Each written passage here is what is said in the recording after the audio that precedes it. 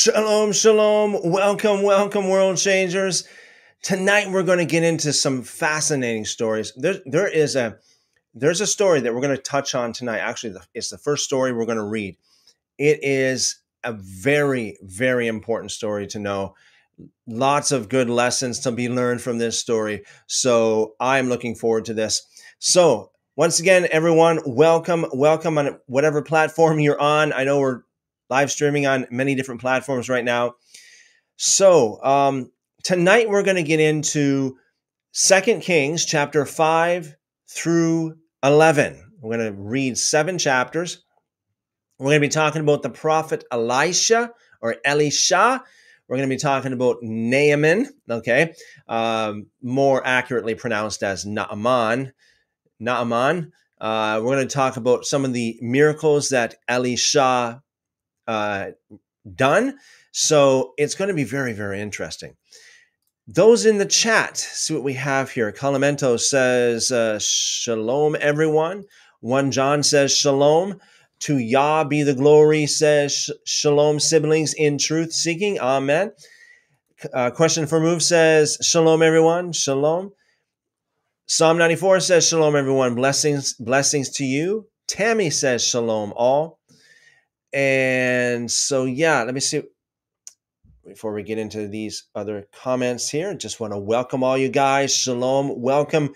Great to see you guys as always. Blessings multiplied to you guys. I pray that, uh, you know, that God speaks through his word tonight, right? Speaks through his word. Or if you're on the other side of the world, as some, we have Vinny joining us usually, and uh, it would be not tonight, but today or this morning. So, yes, uh, awesome. When I first learned about this story and learned about the depth of it, especially the story of Naaman uh, and how he received his miracle from God, this is something that's very, very important. It is, it is a concept that is uh, still in effect today, and it can help every one of us out if we really, really uh, learn from this and put it into practice. So,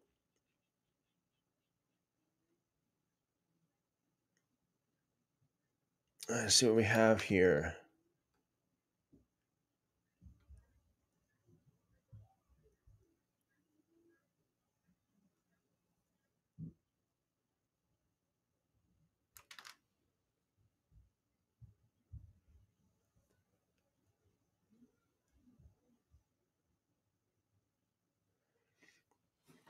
Question for Move says, I just have a really quick question and then we'll probably go afterwards. Sorry for asking a question so early, then leaving. Um, I just had a really quick question. I have an assignment and I have have to choose three people.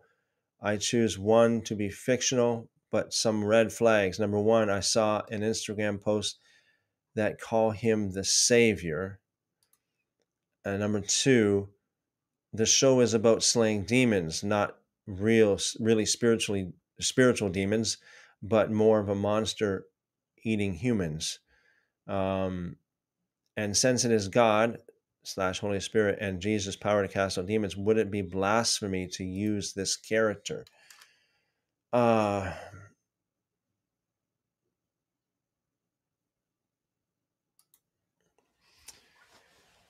I um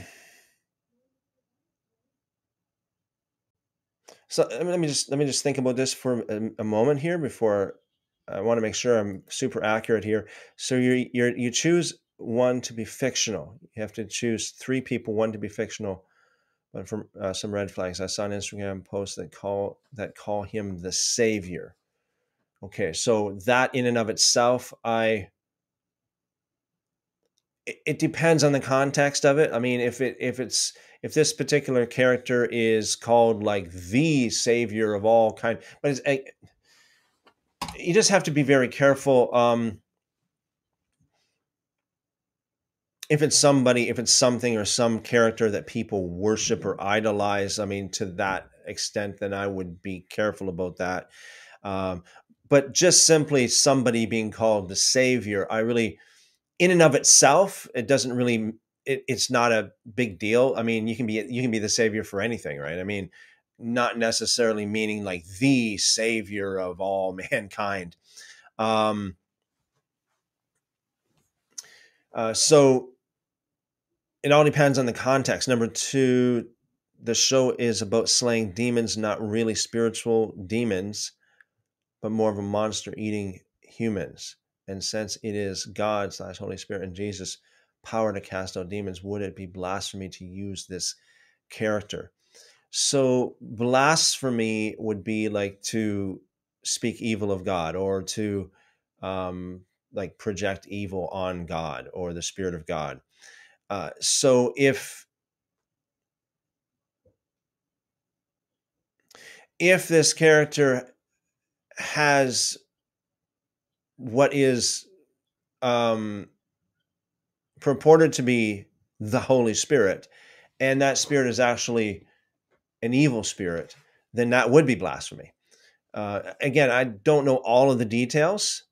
Um, if it's just a fictional character that's called the Savior and it's a fictional uh, show about slaying quote unquote demons, like monster eating humans, um, more of a monster eating humans, mon- monster eating humans. Um, I mean, if it's not directly blaspheming or it's not really putting a bad name on God or the Spirit of God or Yeshua, I, I you have to be careful. It's hard to answer that question. Um, I wouldn't I, the with with the details you gave me question for move. I don't see that it's like clear blasphemy but uh, that doesn't mean it's not because I don't know all the details. Uh, I mean, you got someone like uh, Superman, right? And and you could call Superman, well, he is the savior, and um, this kind of thing.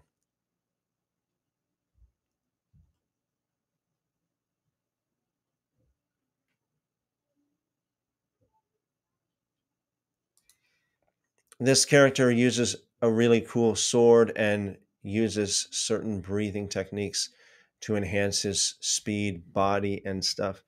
Um, I only saw the Savior term in a single Instagram post. Does it still count? Now that would just bring up more questions like breathing techniques. Is this something like a you know like a yoga or some something like that, or some other um, mystical religion that's tied to it? If that's the case, I certainly wouldn't be using that. Um, yeah. So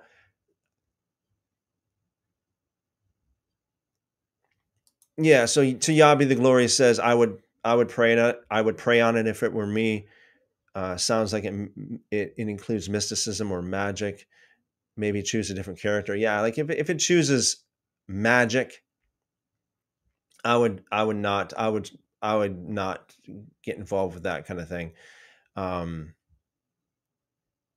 yeah yeah, pray about it. So, yeah, just be careful.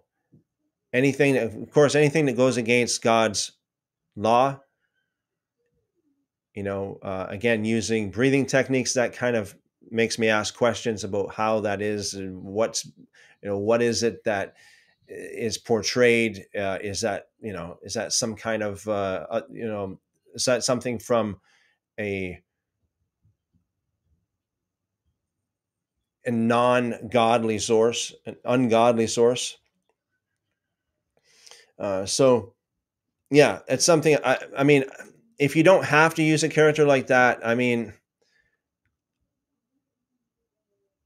it's hard for me to give you advice on on very limited information. I hope that helps. Question for move. Okay, so um, thanks for asking question for move. Again, I can't give you a whole lot of information on limited without actually knowing uh, this the character or you know researching the character all that kind of thing. Yeah just just be careful. It sounds like i'd be looking into i mean i'd, I'd be looking into other options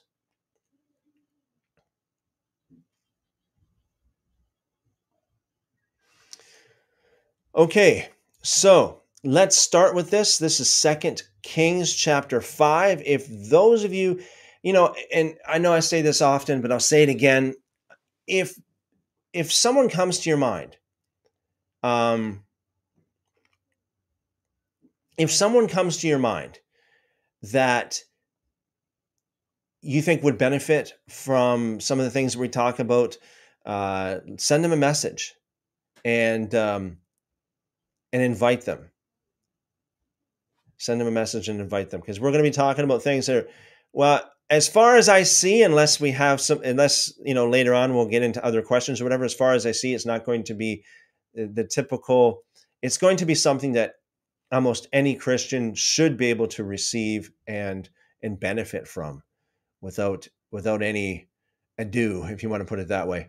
Um, just to further, like as I get more information here, nine, uh, Psalm Psalm ninety four says, "Is this like an anime character?" Question for move says yes. Yeah, so I mean, the more I learn about it, the more it doesn't sound good. Question for move.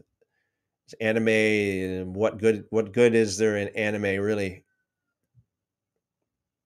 I know someone might argue where there is something good there, but I I, I personally don't know. Uh, anime seems to be something that's not very good at all.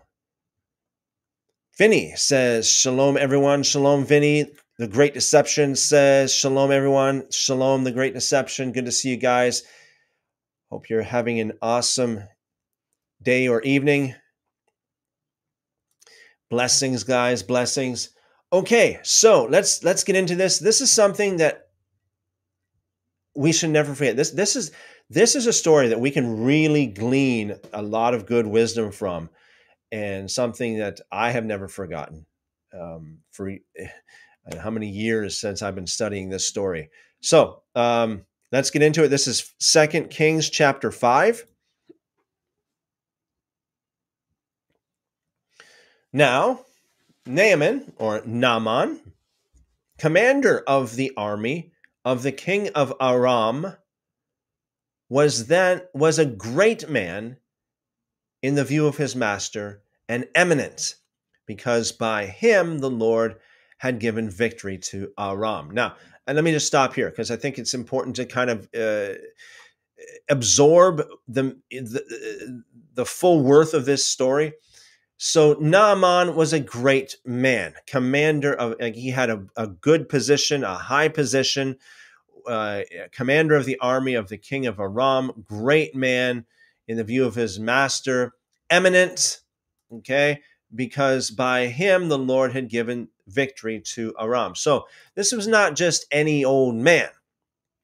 This was a this was a man who had social status this was a man who was uh, a great man, as it says here, in the view of his master, in the, in the view of the king, because by him, the Lord. So he was a man that was used of the Lord. Okay. So uh, let's let's really grasp or try to grasp exactly who this man was. Uh, again, I, I'm I'm very excited about this story because it's there is a wonderful, wonderful message here and a wonderful lesson to be learned. So this man, let me just let me just interject this in this in, right here. This man would be prone to be to be proud. Okay, he was a man that would that would be prone to be proud. He's a sure candidate for a man of pride because of his position, commander of the army of the king of Aram, uh, because he was already viewed as a great man and he was eminent, and the Lord even used him to give victory to Aram. Okay. The man was also a valiant warrior, but afflicted with leprosy. Okay. A valiant warrior upon all of it, but afflicted with leprosy. So, why would this happen, you might say? Great man, high social status, prestigious, eminent, used of the Lord, but smitten with leprosy. Why? Verse 2 Now the Arameans had gone out in bands and had taken captive a little girl from the land of Israel, and she waited on Naaman's wife. So in the footnotes, we have here was before, literally was before, which uh, the translators believe that it means to be uh, waited on Naaman's wife, or almost like a maid. Um, and she said to her mistress, Naaman's wife, If only my master were with the prophet, and in the footnotes, literally before the prophet, who is in Samaria, then he would cure him of his leprosy. Wow. That's it. Right? Powerful statement. Powerful statement. A statement of, I mean, she's a, she gave a statement of truth here and a statement of longing. If only Naaman were before the prophet. In other words, in the presence of the prophet who is in Samaria, then he would cure him of his leprosy. Verse 4 And Naaman went in and told his master, now in the footnotes, Naaman and he, literally he, went in and told his master, saying, The girl who is from the land of Israel spoke such and such. Then the king of Aram said, Go now, and I will send a letter to the king of Israel. Okay, so look, I mean, okay, again, let's let's take this kind of slow here. We want to get them, eh, we need to let's get as much nutrition from this as possible, spiritual nutrition. So Naaman, Naaman, instantly got leave from the king of of of Aram saying, Go now, and, and I will send a letter to the king of Israel. So from one king to the to the other king about a great man, a, a man of high position within the kingdom. Okay, so Naaman had everything going for him here, except for his leprosy, of course. He had the king of Aram. He had, you know, uh, endorsement basically from him and the letter from the king of Aram to the king of Israel. Okay, so can you imagine being in this, being part of the upper crust, being part of the upper crust of of the society, a valiant warrior, someone whom was used by God, great man, commander of the army of the king of Aram. Had a great reputation, probably very well known, famous, well respected, obviously, and backed by, what by the king so he departed and took with him 10 talents of silver. Okay, so it's, you know, good thing to do. Take some, uh, a, a, what would you say, a gift? 10 talents of silver, 6,000 shekels of gold, and 10 changes of clothes. So 10 talents of silver. Talent was about 75 pounds. So that'd be 750 pounds of silver. 6,000 shekels of gold shekel was about a half an ounce, right? So that would be like three thousand ounces of gold and and ten changes of clothes. Right, I guess for the for the trip. And he brought the letter to the king of Israel, which said, quote, And now, as this letter comes to you, behold, I have sent Naaman, my servant, to you, so that you may cure him of his leprosy. Unquote. But when the king of Israel read the letter, he tore his clothes and said, Am I God to kill and to keep alive? That this man is sending word to me to cure a man of his leprosy? But consider now and see how he is seeking a quarrel against me. In other words, he's setting me up. He's setting me up. Literally, an opportunity against me. And he's picking a fight with me. Verse 8 Now it happened when Elisha, the man of God, heard that the king of Israel had torn his clothes, that he sent word to the king, saying, Why did you tear your clothes? Just have him come to me, and he shall learn that there is a prophet in Israel. Very, very confident, extremely confident. Verse 9 So Naaman came with his horses and his chariots and stood at the doorway of Elisha's house. Okay, can you imagine? Let's just stop here for a second. Just imagine this. Naaman, Naaman was at the door, knocking on uh, Elisha's door, Elisha's door. Can you imagine being Elisha inside the house? I can picture, you know, probably an elderly man, you know, maybe, I don't know, in a rocking chair or something. Who's at the door? Naaman you know, the valiant warrior, the king's more or less right hand right hand man, and he's got his entire entourage here. He's got his horses and his chariots. You see him all around. Look out the window. Look at it. Look at this. Look what's going on here. We've got the great man at the door for, for a miracle of God to be cured of his leprosy. What did Elisha do? What did Elisha do?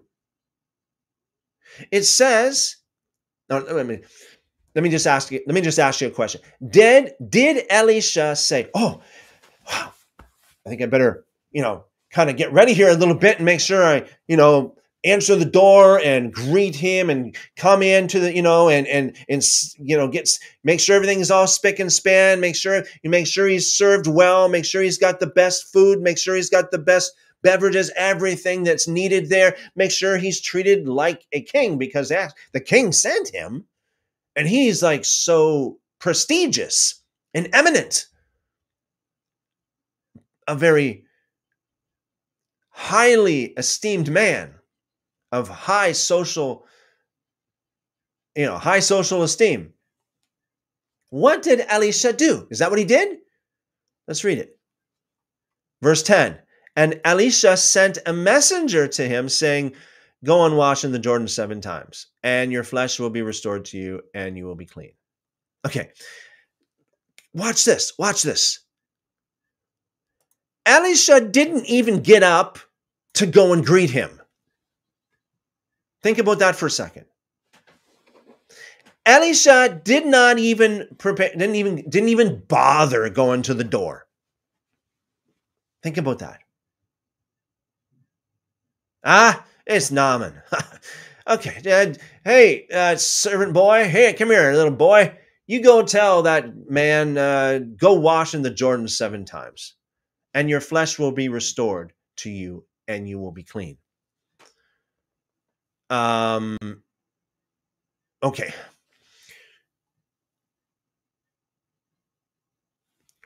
What do you think Naaman did? I know this, a lot of you know the story, but how do you think, how would you respond if you were in Naaman's position? Having such a great reputation and being so well known and and having so much achievement under your belt and wow. And you go to a to another country with the letter endorsed of the king.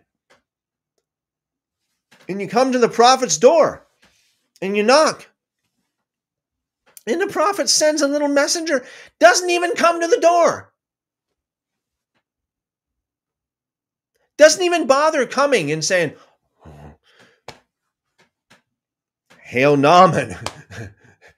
Doesn't bother doing that at all. Don't even see him. Doesn't even bother getting up off of his rocking chair.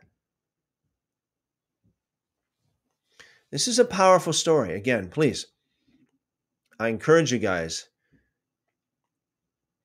Think about this. Think about this. This is powerful. Elijah sent a messenger to him. That's all he did. didn't even bother going to the door. Go and wash in the Jordan seven times, and your flesh will be restored to you, and you will be clean. What did that mean? What did that look like? How would that play out in in Naaman's mind? It's like, first of all, like the Jordan is a dirty river. Um, not not only that, but um, it, it doesn't is you know explicitly paint it out for us here, but Naaman would have to disrobe. He would have to disrobe in front of everybody. And he would have to show everybody how badly diseased he is. Think about this. Think about this. This is a powerful lesson to be learned here. He, it, would, it would mean that he would have to humble himself to the lowest. He would have to disrobe, perhaps even you know, take everything off in front of everybody and show everybody how diseased he is and bathe in front of everybody in dirty water. This great man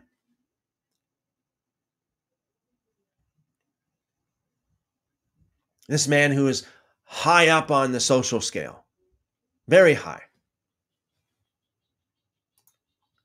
Verse 11 But Naaman was furious and went away and said, Behold, I thought he will certainly come out to me, which he didn't, of course, and stand and call on the name of the Lord his God and wave his hand over the sight and cure the leprosy. Are not Abana and Pharpar, the rivers of Damascus, not better than all the waters of Israel? Could I not wash in them and be clean? So he turned and went away in a rage. Let's just again, let's let's, let's get some spiritual nu- nutrition from this. He was furious. Why? Because obviously this this really hurt his pride. He would certainly was not willing to do that to humble himself to that degree. I thought, I thought, he said, Behold, I thought he will certainly come out to me. See? So this is one of the characteristics of pride expectations not met. When, when we have expectations fueled by pride and they're not met, you always have someone who is furious. Okay? Pride produces expectations, and when those expectations are not met, we have anger. Right? On, you know, on the flip side, you know, um,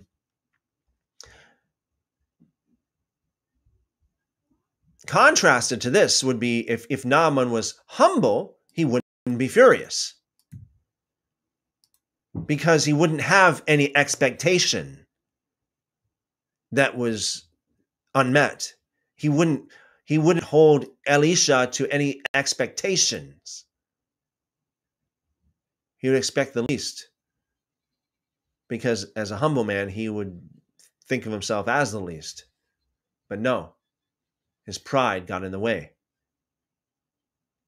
and fueled his fury. So he had he he, he came to Elisha's door already with something on his mind with an expectation of exactly how it should be played out. He will come out to me. He will basically, he will greet me, kind of thing. He will pay homage to me. He might, you know, bow down to me. He might, whatever he thought. I'm not sure. It doesn't, it's not very explicit here. Probably how everybody else greeted him, probably with, with great respect, and stand and call on the name of the Lord his God. So, in other words, again, he he had in his mind that uh, it, it was supposed to happen in a certain way. He had expectations. Wave his hand over the sight and cure the leprosy. And then he goes on saying, oh, you know, basically, uh, um, the Jordan is a dirty river. Why, why, why should I go to that of all things? If you want me to humble myself and disrobe and, you know, at least give me a good, you know, uh, beautiful river to do it in, not the Jordan. So he turned and went away in a rage. Again, why? Because of his pride. Verse 13 Then his servants approached and spoke to him, saying, my father? Had the prophet told you to do some great thing, would you not have done it? In other words, if the prophet told you to climb Mount Everest for this miracle, would you not have done it? Yeah, of course you would have done it because it feeds your pride. How much more then he's when he says to you, wash and be clean. Just simple. It's not a great thing, but it's a very simple and easy thing. Naaman, why are you so furious? This is easy.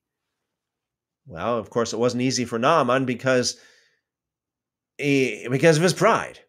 Verse 14 so, so, this, so basically, what happened here is his servants, the servants of Naaman, the servants of Naaman, broke his pride when they said this to him. They broke his pride. So in verse 14, he humbled himself. So he went down and dipped himself in the Jordan seven times. Can you imagine how humiliating that would be?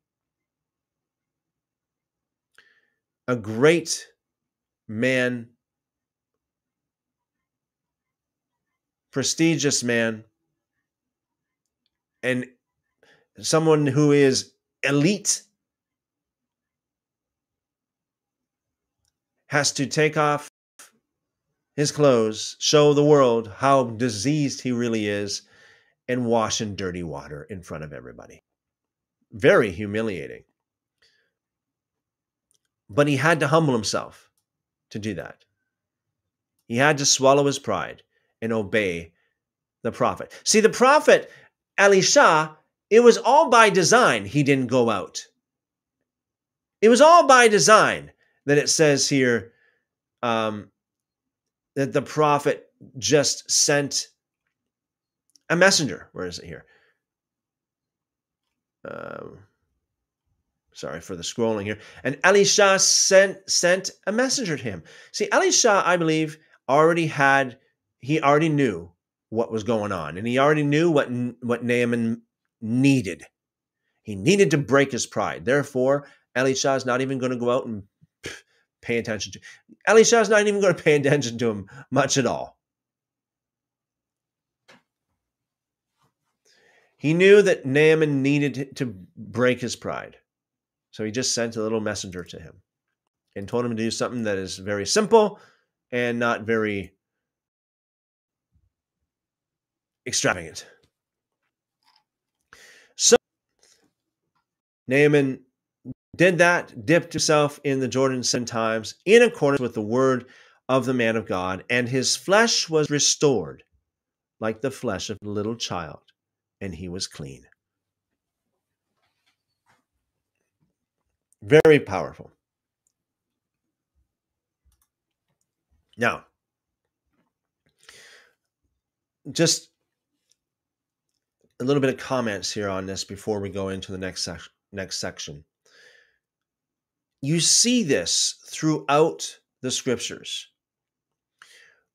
If you need a miracle from God, if you want God to do something for you in your life, even if it's just showing up, even if it's whatever it is, you need humility. Remember, it says God gives grace to the humble, but he resists the proud. God resists the proud, but gives grace to the humble. You don't want to be resist. You don't want God to resist you. You want God to give you grace. Notice it doesn't say God gives grace to everybody. God gives grace to the humble. There's a condition there. And he resists the proud. You if you study the miracles that we that we have all throughout scriptures, all throughout the scriptures, you will see this kind of this kind of element of the humility involved in many of them. Someone might say, well, look at when Yeshua, look at when Jesus was on this earth and he was just healing everybody left, right, and center. But it really didn't happen that way. He preached hard, very hard teachings before he did miracles many times. Maybe not every, not maybe not every time but many times he did. You look when it says that you know they, were all healed like how it says in the, in the gospels you know we see in in in various places you know and he healed them all and he healed them all and he healed them all. But you need to ask the question what's the context of that? Yeshua was like an open air preacher and I've done this myself open air. An open air preacher, you've really got to try to get everybody's attention and keep their attention because it's so easy for them just to walk away. If you say something they don't like, it's just so easy for them to walk away. They don't like it. Uh, walk away. Walk right by. So the people who were there after Yeshua taught his hard teachings, and some of his teachings were hard. I mean, in a way they weren't hard, but in a way they were, if you know what I mean. They're easy if you want to, you know, deny yourself and hum- humble yourself. It's easy. But I mean, again, if you have pride that you need to sacrifice, well, it might not be that easy. But when Yeshua got finished teaching, the only people that were left there, the all were those who were humble enough and strong enough to, st- to stick around. Humble enough, desperate enough, and strong enough, emotionally, spiritually, to withstand that hard teaching. So when it says he healed everyone, it was in context everyone who was there, not everyone in a universal absolute sense because a lot i believe just just ignored jesus just ignored walked away from yeshua. Because they didn't like what he was saying. So humility is vital. It is a vital element of your spiritual walk with god right? It says in uh, just come to my mind right now. What does he require of you? Micah. Uh, give me a second here. Micah chapter 6, verse 8. He, speaking of God, has shown you, O mortal, what is good, and what does the Lord require of you? to act justly. This word justly is synonymous with righteousness. And to love mercy and to walk humbly with your God. To walk humbly with your God. So it's by the grace of God that God moves in our lives, right? It's by the grace of God that He blesses us. And so if we want the grace of God, we need to position ourselves to receive the grace of God. And the best position is the position of humility.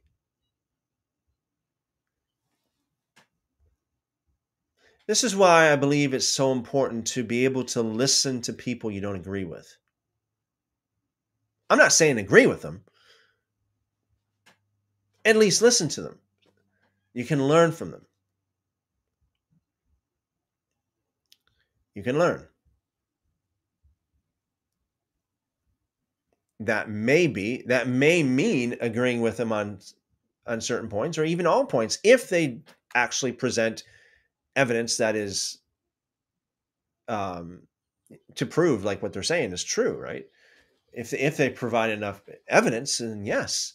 If they provide plausible, uh, good evidence, then yes. We should need we should be willing to humble ourselves and to listen. But listening is just one part of humility. There's a there's a lot more to humility than that. Naaman listened. Naaman listened to his servants, which broke the pride off his back, and he got healed. Can you imagine what would have happened if he if he would have just persisted stubbornly in his pride? What would have happened? definitely would not have gotten healed at all. God, Uh, who knows? I mean, it would have been a very, very miserable life for him. Perhaps even a shorter life for him. More than likely, a shorter life for him. But he chose to listen, he chose to humble himself. So never forget the story of Naaman at the River Jordan, how he chose to humble himself. Wow. It's a beautiful story. It's a powerful story.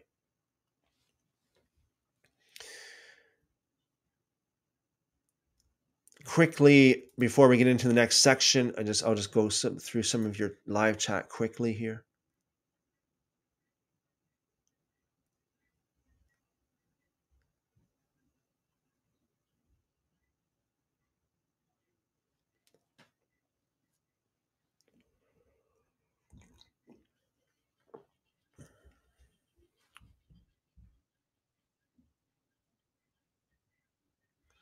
Mark says, Shalom. Shalom, Mark. Good to see you.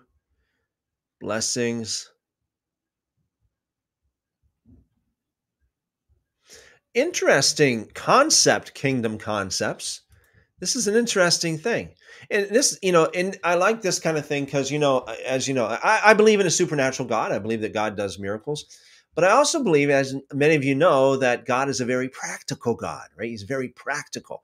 So I like this. The Yarden is muddy. Um, for those who are just joining, or if you're not familiar with this, the Yarden is actually Yarden is a more accurate way of pronouncing Jordan. Um, so yeah, the Yarden is muddy, contains minerals that can heal skin. Very interesting. So yeah, awesome, awesome. Thanks for sharing that. To Yah be the glory, said, it says, wow, what a beautiful picture of how to help the proud see their pride. Elisha knew well being led of the Spirit. Yes, absolutely. Yeah, and this is a good a good point too. Maybe a heavy dose of experience with with proud people also. Yeah, yeah, and learn a lot of learn a lot of things. Humility is such a major part of our walk towards the Father. Word study of the term in Scripture was uh, very helpful in my walk. Humility, yeah, humility is is tied. the The word in Hebrew for humility is uh, is related to uh, another word that means afflicted, right? So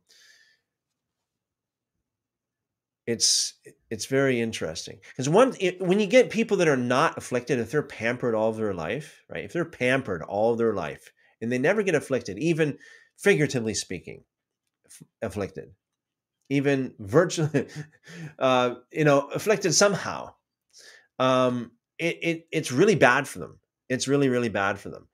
Uh, it's the afflictions that that help us to you know uh, well, that's what causes us to be humble uh, and actually, in order to be humble, we have to afflict ourselves, right? In one way or, or another, we have to somehow afflict ourselves to be humble. Uh, but sometimes people need outside, um, what you call it, peripheral, outside of the self. They need to they need to have uh, affliction come from uh, an outside source. They need they need humility outsourced, right? They need affliction outsourced and that's one of the biggest problems in the in the in the developed world today actually is be, i mean on one hand to be you know very blessed is really good obviously but on the other hand it's almost like it's it can be it can easily be very deceptive because that lack of affliction can lead to pride which can lead to lots of problems lots of problems. So very, very important lesson to learn. Let's continue reading. This is Second Kings chapter 5, verse 15. Gehazi's greed. Then he returned to the man of God with all his company and came and stood before him.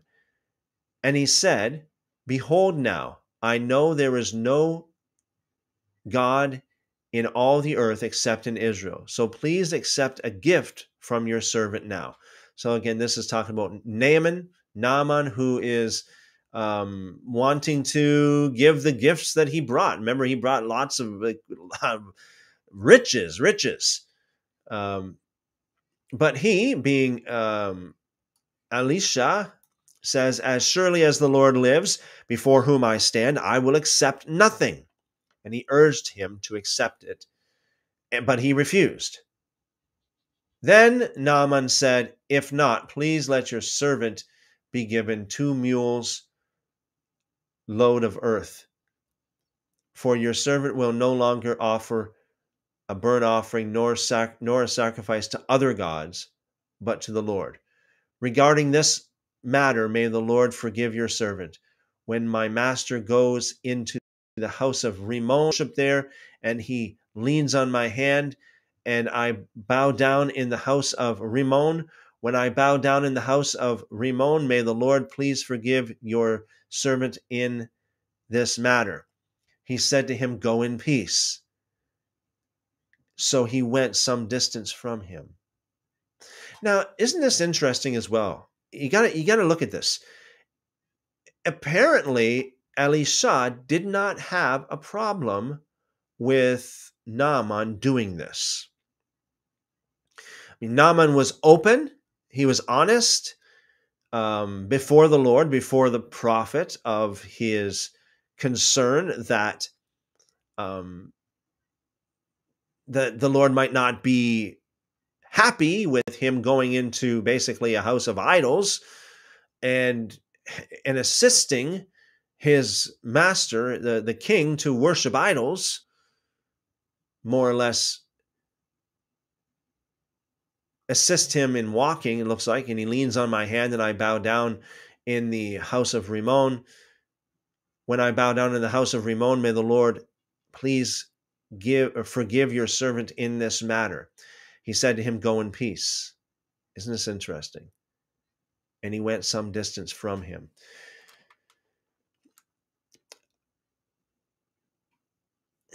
I'm interested. I'm just interested here. Let's see what it says in Sefaria about about that particular verse from a from the Jewish point of view.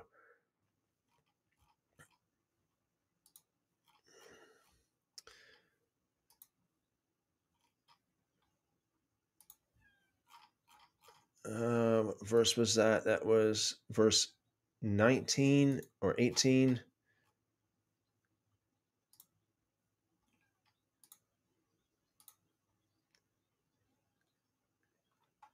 House of Rimmon, name of a pagan deity,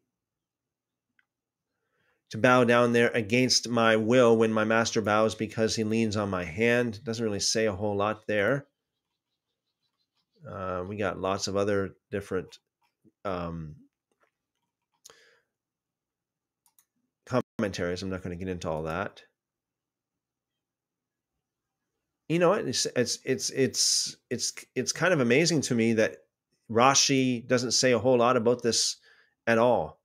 Now I know there are others here, and I don't see Ramban here at all. So it's it's amazing. Uh, it's it's amazing how Elisha would respond like this. You know, because you got some people today, you know, in especially in the Hebrew roots movement, uh, and they're so against. I mean, they're so against anything and, and I, I respect i respect it but you see like what would a hebrew roots person say if they were there? Hey it's a pagan deity. It's pagan. It's a pagan deity. When my master goes into the house of Rimmon to worship there pagan deity. And he leans on my hand and bow and i bow down in the house of the pagan deity. Now most people would probably say oh you know that you know repent don't i mean don't do it don't go there at all. I mean uh, you know elisha should say no no don't go back to your uh, to that anymore. Stay here with me and i'll teach you the ways of the lord or something like that. No.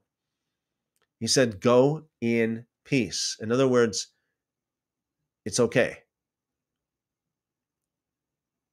In other words it's okay. Not okay and let me just clarify. Not okay to worship a pagan, of course not. Not okay, not okay to to worship Ramon. Uh, I don't think that this is uh, that Naaman was saying that he's actually worshiping Ramon. He's just basically assisting his master um, in the rituals of that pagan deity.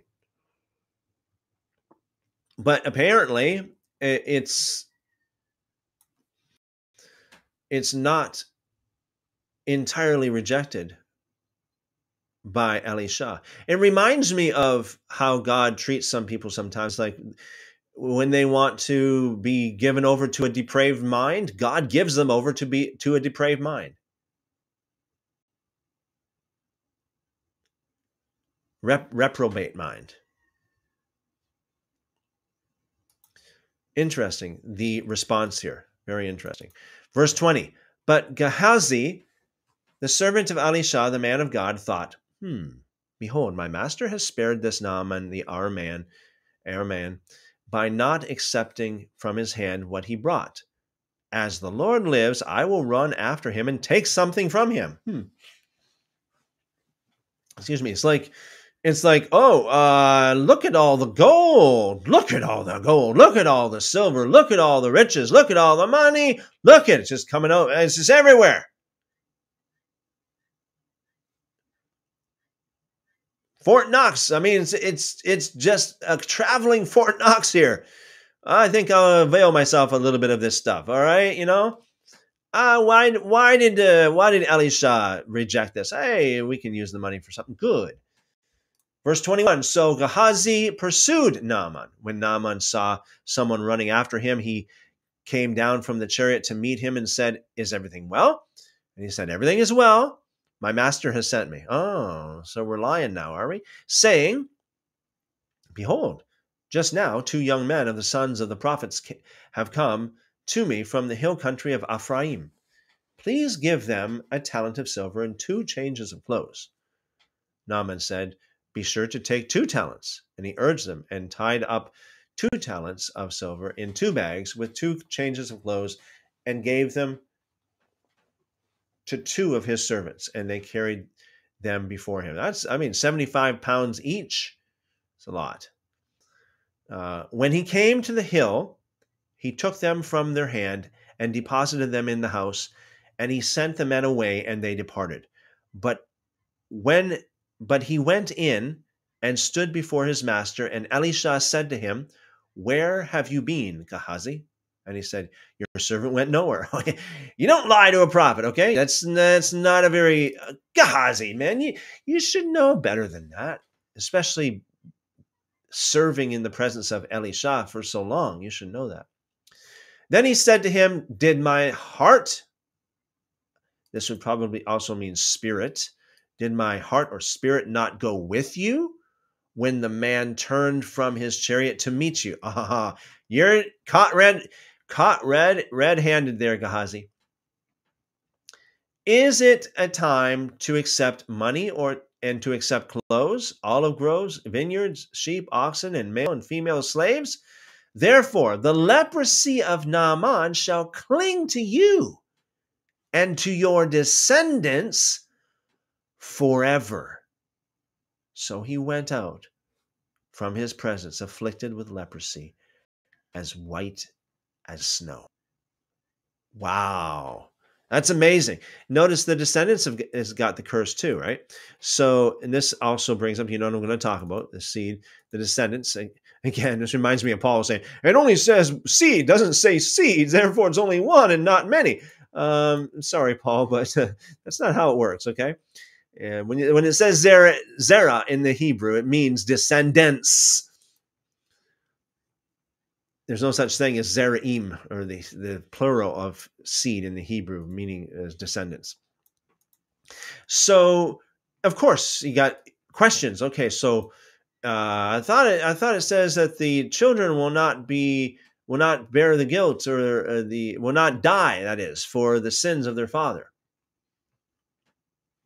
And so, again, in Deuteronomy 24, where it says that, and Ezekiel chapter 18, where it says that very clearly, it's talking about salvation.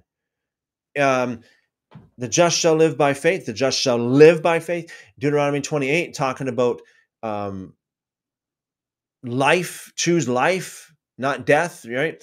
Um, live. If you do these commandments, you will live. That's talking about salvation. If you do, if you don't do these commandments, you will die. That's ta- that's not talking about biological death. That's talking about spiritual death. So Deuteronomy 24 and Ezekiel 18 is talking about being bearing the sins, being punished, um, or taking, paying in place of another person. Like say, father and a son. A father loves his son so much he says, "Oh, I don't want my my son is the one who's sinning. I don't want my son to suffer the wrath of God for that. I I'll do that instead." That's what that means. That won't work. Okay. Um, in uh, you know, on the opposite, right? The son might love the father so much, say, I know, I know my father's an ungodly man, so Lord, I will take the bur- I will take his burden, I will take his sin, and I'll die, so to speak. I'll die. I'll I'll receive the wrath of God instead of him. That doesn't work. That's not justice. That's not what this is talking about. This is talking about basically a generational curse, right? A generational curse. So the descendants of Naaman, uh, excuse me, the descendants of Gehazi bore the consequence of Gehazi's sin. Not that they paid for his sin so that Gehazi can go free, but they were basically in the line of fire. They were they bore the consequence of a sin, just like how again we got seemingly or like children or elderly people in uh, the Noah's flood or Sodom and Gomorrah, this kind of thing. Um, same kind of thing, same kind of um, same kind of circumstance. One person cannot pay for another person's sin. In other words, the father cannot take cannot die for for the son or the son for the father as a substitute, but rather um, one can be I mean, one can bear the consequence of the other sin. That's that's obvious. I mean, you can uh, father can, and we see that all the time, actually, right? I mean, children bear the consequences of their of their of the sins of their parents a lot. If their parents are very ungodly people and doing things they shouldn't be doing, those poor children are going to are going to be um, bearing consequences. Um, just the way it works, right? So that is what this is talking about. So it's not like the descendants of Gehazi bore the wrath of God for him, but rather they were uh, afflicted in cons- consequently for, uh, because of him. Second Kings chapter six. The axe had recovered. Now, this is something, just before I get on to read this, this is something that could be, I, I wouldn't doubt this is something that, that could be explained in a practical way as well. I, I, I'm not aware of any practical explanation for this. Maybe one of you guys are in the live chat. If you are, uh, tag me there and at Christopher and, and let me know. But um, I mean, it could be a miracle. I mean, God can do whatever He wants to do, and He does whatever He wants to do. That's for sure. But uh, it, could be some practical thing uh, element to it as well. Verse one. Now the sons of the prophets of, or the sons of the prophets said to Elisha, "Behold, now the place before you, where where we are living, is too cramped for us.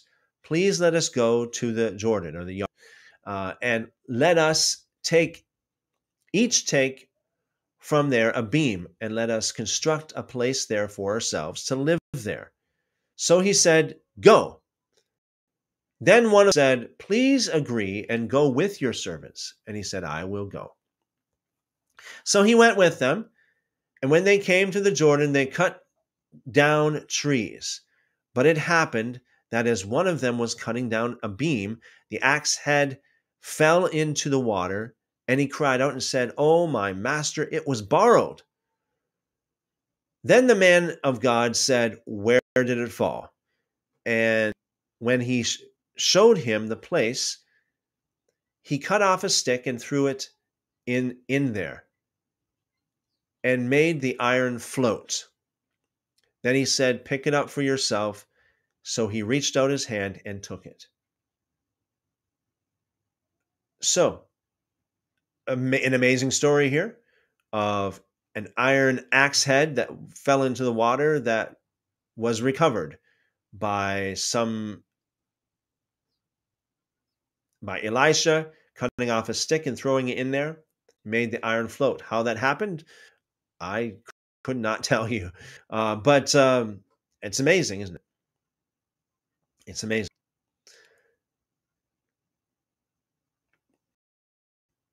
The Arameans plot to capture Elisha.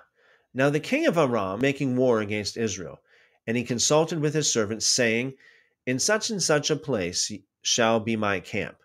But the man of God sent word to the king of Israel, saying, Be careful that you do not pass this place, because the Arameans are coming down there. And the king of Israel sent scouts to the place about which the man of God had told him, so he warned him, so that he was on his guard there more than once or twice. Now the heart of the king of Aram was enraged over this matter, and he called his servants and said to them, Will you not tell me which of us is for the king of Israel? One of his servants said, No, my lord, the king, but Elisha, the prophet who is in Israel, tells the the king of Israel the words that you speak in your bedroom. This reminds me. This reminds me. Let me just tell you this. This is a um, several years ago. Uh, uh, let me just pause here for a second. This reminds me of something. Several years ago, I had um, I went to the restaurant with a, a pastor um, of a church not too far from from where I live, and and uh, we were talking about prophets and this particular pastor said that back in the olden days, like this would have been back, uh, uh, like assuming, you know, maybe like 100, 200 years ago, that kind of thing.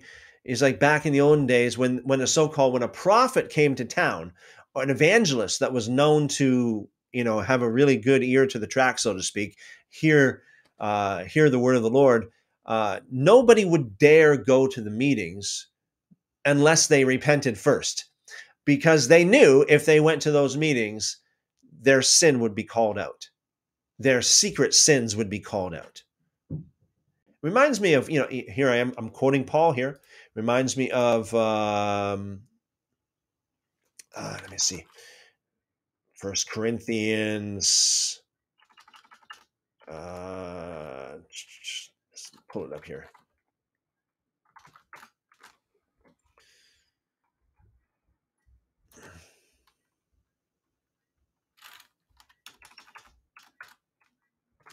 First Corinthians.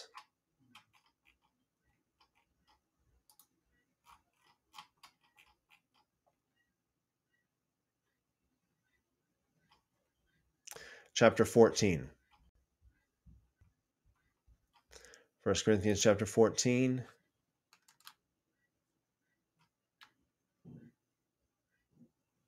And this is good.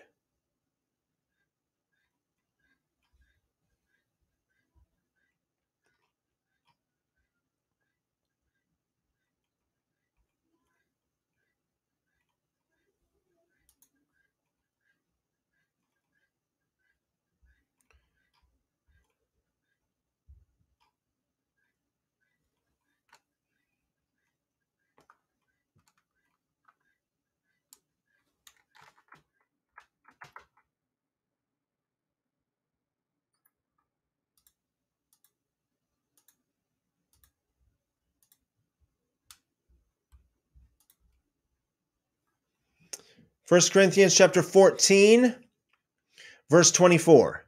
Check this out. But if an unbeliever or an inquirer comes in while everyone is prophesying, they are convicted of sin and are brought under judgment by all. I like that because you see a lot of people today say, "Oh, but Jesus said, judge not."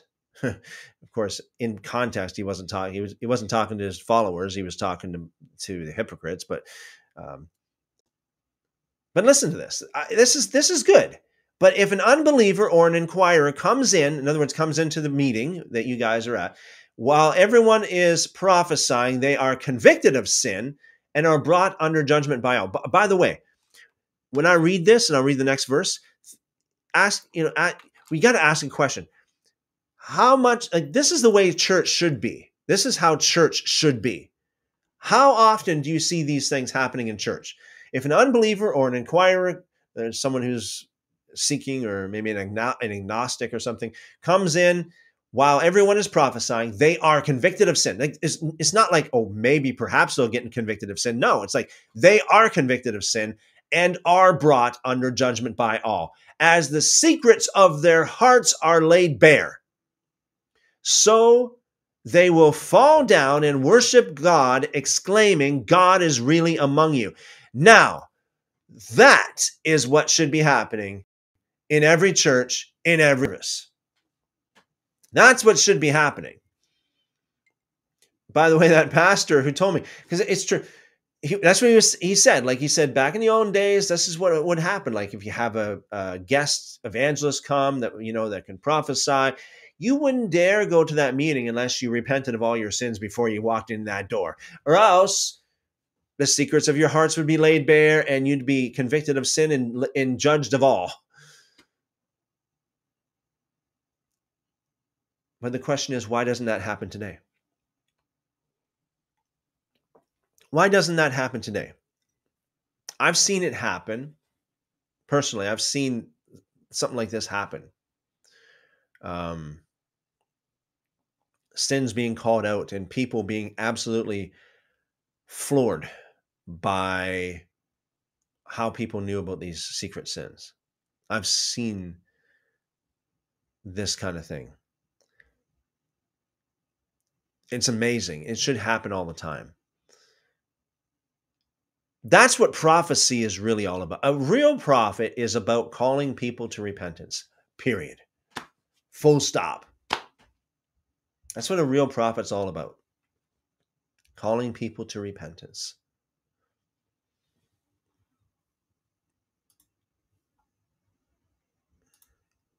Second Kings chapter 6, again, verse 12. One of his servants said, No, my lord, but the, uh, the king, but Elisha, the prophet who is in Israel, tells the king of Israel the words that you speak in your bedroom. That's it right there. That's what we're talking about.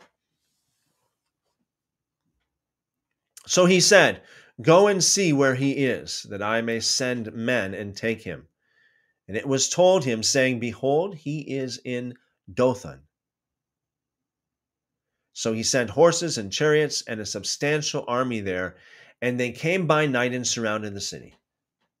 Now, when the attendant of the man of God had risen early and gone out, behold, an army with horses and chariots was circling the city.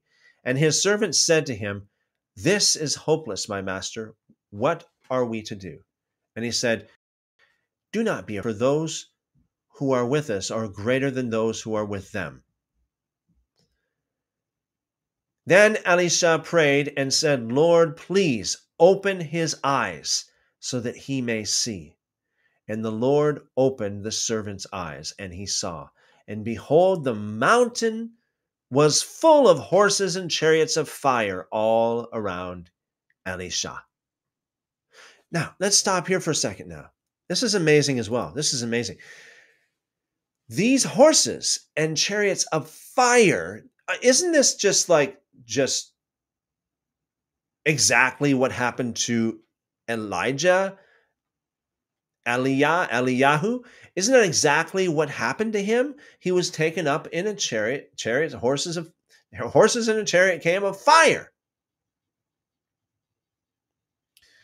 Now, I find it amazing because these horses and chariots of fire are spiritual. They were there all along, but they were not seen by anybody except for perhaps Elisha.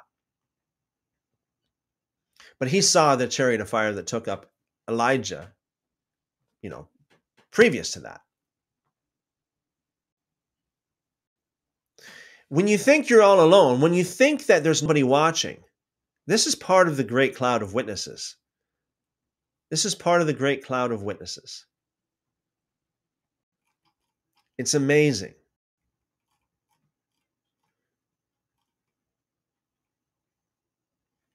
Because when you think you're all alone, God is there populating. God is populating uh, your your space. Okay, if you want to put it that way, your space with His angels, His beings. So again, like in context here, we have an army that was surrounding them, and it looked like it was all hopeless to them, right? Again, going back to verse 15. Now, when the attendant of the man of God had risen early and gone out, behold, an army with horses and chariots was encircling the city. Now, this is the real, uh, not the, not not that the other is not real, but this is like the earthly army of horses and chariots circling the city. They're all around the city. And his servant said to him, This is hopeless, my master. What are we to do? And he said, Do not be afraid, for those who are with us are greater than those who are with them. See, so it's like the servant was like, "What are you talking about? We're alone here. We're we're we're doomed. We're uh, we're cornered." And then Elisha prayed and said, Lord, please open his eyes that he may see. And the Lord opened the servant's eyes, and he saw, and behold, the mountain was full of horses and chariots of fire all around Elisha. Now, I pray I pray that each one of us are mindful of the great cloud of witnesses that is spoken of in Hebrews chapter 12. You know, helps us to keep in check, doesn't it? To know that we are being watched, the watchers of the book of Enoch. To know that we are being recorded. To know that there is a whole lot in that other dimension that overlays this dimension that we do not see. There's a whole lot right there we don't we don't see it with our natural eyes. Verse 18, and when they came down to him, Elisha prayed to the Lord and said, "Please strike this people with blindness." Well, that's that's quite the prayer, isn't it? That's quite the prayer. I mean, today a lot of Christians would go, "Lord, please you know, show them your love. show them your love. Show them your love. That's uh, Elisha. Uh, Lord, please strike these people with blindness.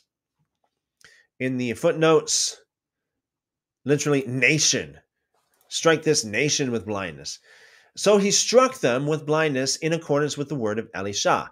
Then Elisha said to them, This is not the way, nor is this the city. Follow me, and I will bring you to the man whom you seek. And he brought them to Samaria. It's amazing that these angels, this angel army, strikes people with blindness like this. This is a, pretty much the same kind of thing that happened in the days of Lot, Lot, right, in the city of Sodom, cities of Sodom and Gomorrah, where um, the angel struck those people with blindness as well. And Elymas, the sorcerer in the book of Acts, strict, st- uh, Uh, stricken with blindness. Verse 20 When they had come into Samaria, Elisha said, Lord, open the eyes of these men so that they may see. And the Lord opened their eyes, and they saw. And behold, they were in the midst of Samaria.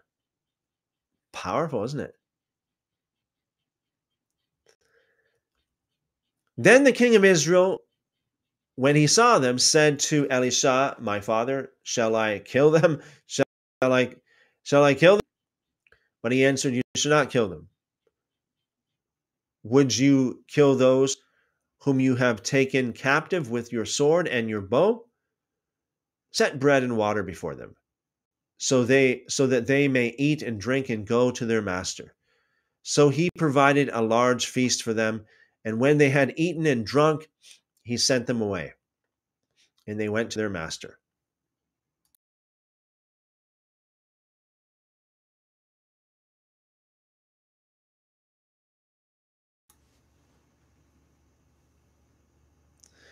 And the marauding bands of the Aramaeans did not come again to the land of Israel. Verse 24 Now it came about after this that Ben Hadad, the king of Aram, gathered all his army and went up and besieged Samaria. So there was a severe famine in Samaria, and behold, they kept besieging it until a donkey's head was sold for 80 shekels of silver, and a fourth of a kab of dove's dung for five shekels of silver. A fourth of a kab.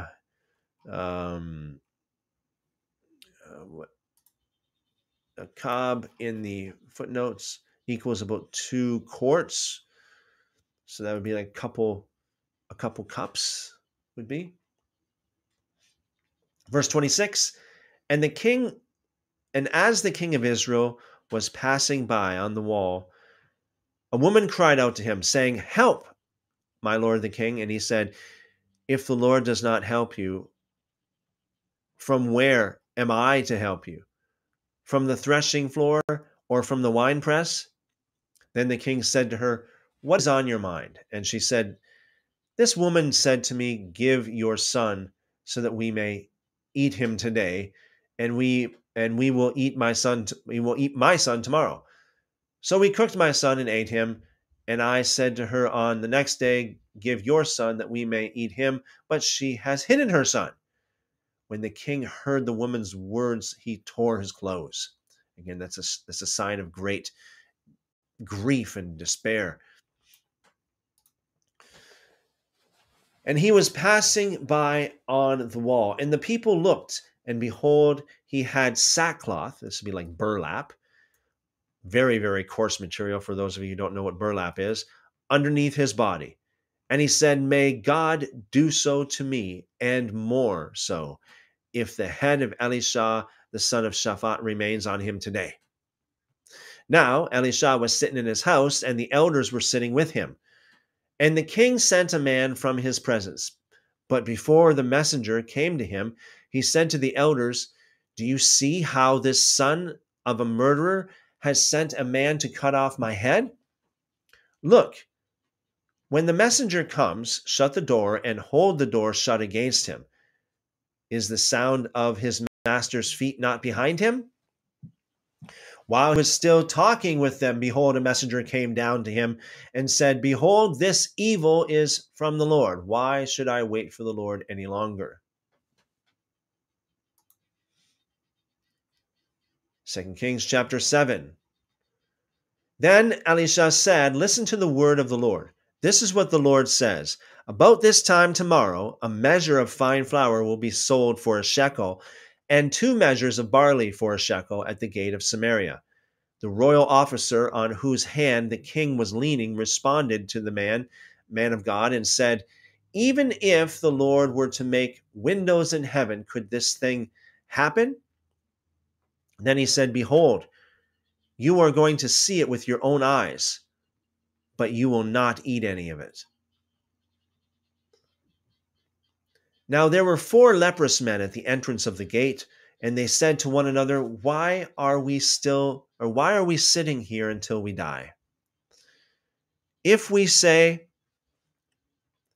We will enter the city, then the famine is in the city, and we will die there. But if we sit here, we will also die. Now, now then come, and let's go over to the camp of the Aramaeans. If they spare us, we will live and if they kill us, then we will die. So they got up at twilight to go camp of the Aramaeans. When they came to the outskirts of the camp of the Aramaeans, behold, there was no one there. For the Lord had made the army of the Aramaeans hear a sound of chariots, a sound of horses, that is, the sound of a great army. And they said to one another, Behold, the king of Israel has hired the king of the Hittites and the kings of the Egyptians against us to attack us. So they got up and fled at twilight, and abandoned their tents, their horses, and their donkeys. Indeed, the camp itself, just as it was, and they fled for their lives. When these men with leprosy came to the outskirts of the camp, they entered one tent and ate and drank, and carried from there silver, gold, and clothes and they went and hid them. Then they returned and entered another tent and carried valuables from there also and hid them. Then they said to one another, We are not doing the right thing. This day is the day of good news, but we are keeping the, we are keeping silent about it. If we wait until the morning light, punishment will overtake us. Now now then come. Let's go and inform the king's household. So they came and called to the gatekeepers of the city and told them, saying, We came to the camp of the Aramaeans, and behold, there was no one there, nor a human voice, only the horses tied, and the donkeys tied, and the tents just as they were. And the gatekeepers called and announced it inside the king's house. Then the king got up in the in the night and said to his servants, I will now tell you what the Aramaeans have done to us. They know that we are hungry so they have left, left the camp to hide themselves in the field, saying, When they come out of the city, we will capture them alive and get into the city. One of his servants responded and said, Please have some men take five of the horses and remain which are left in the city. Behold, they will be in any case like, like all the multitude of Israel who are left in it. Behold, they will be like all the multitude of Israel who have already perished. So let us send them and see. Therefore, they took two chariots with horses, and the king sent them after the army of the Aramaeans, saying, Go and see. They went after them to the Jordan, and behold, all the way was full of clothes and equipment which the Aramaeans had thrown away when they fled in a hurry. Then the messengers returned and informed the king. So the people went out and plundered the camp of the Aramaeans. Then a measure of fine was sold for a shekel, and two measures of barley for a shekel, in accordance with the word of the Lord. Now the king appointed the royal officer on whose hand he leaned to be in charge of the gate, but the people trampled on him at the gate, and he died just as the man of God had said, who spoke when the king came down to him. So it happened just as the man of God had spoken to the king, saying, Two measures of barley for a shekel and a measure of fine flour for a shekel will be sold about this time tomorrow at the gate of Samaria. At that time, the royal officer had responded to the man of God and said, Even if the Lord were to make windows in heaven, could such a thing as this happen? And he had said, Behold, you are going to see it with your own eyes, but you will not eat any of it. And this is what happened to him, for the people trampled on him at the gate, and he died. 2 Kings chapter 8. Now Elisha spoke to the woman whose son he had restored to life, saying, Arise and go with your household and live wherever you can, for the Lord has called for a famine, and it will indeed come on the land for seven years.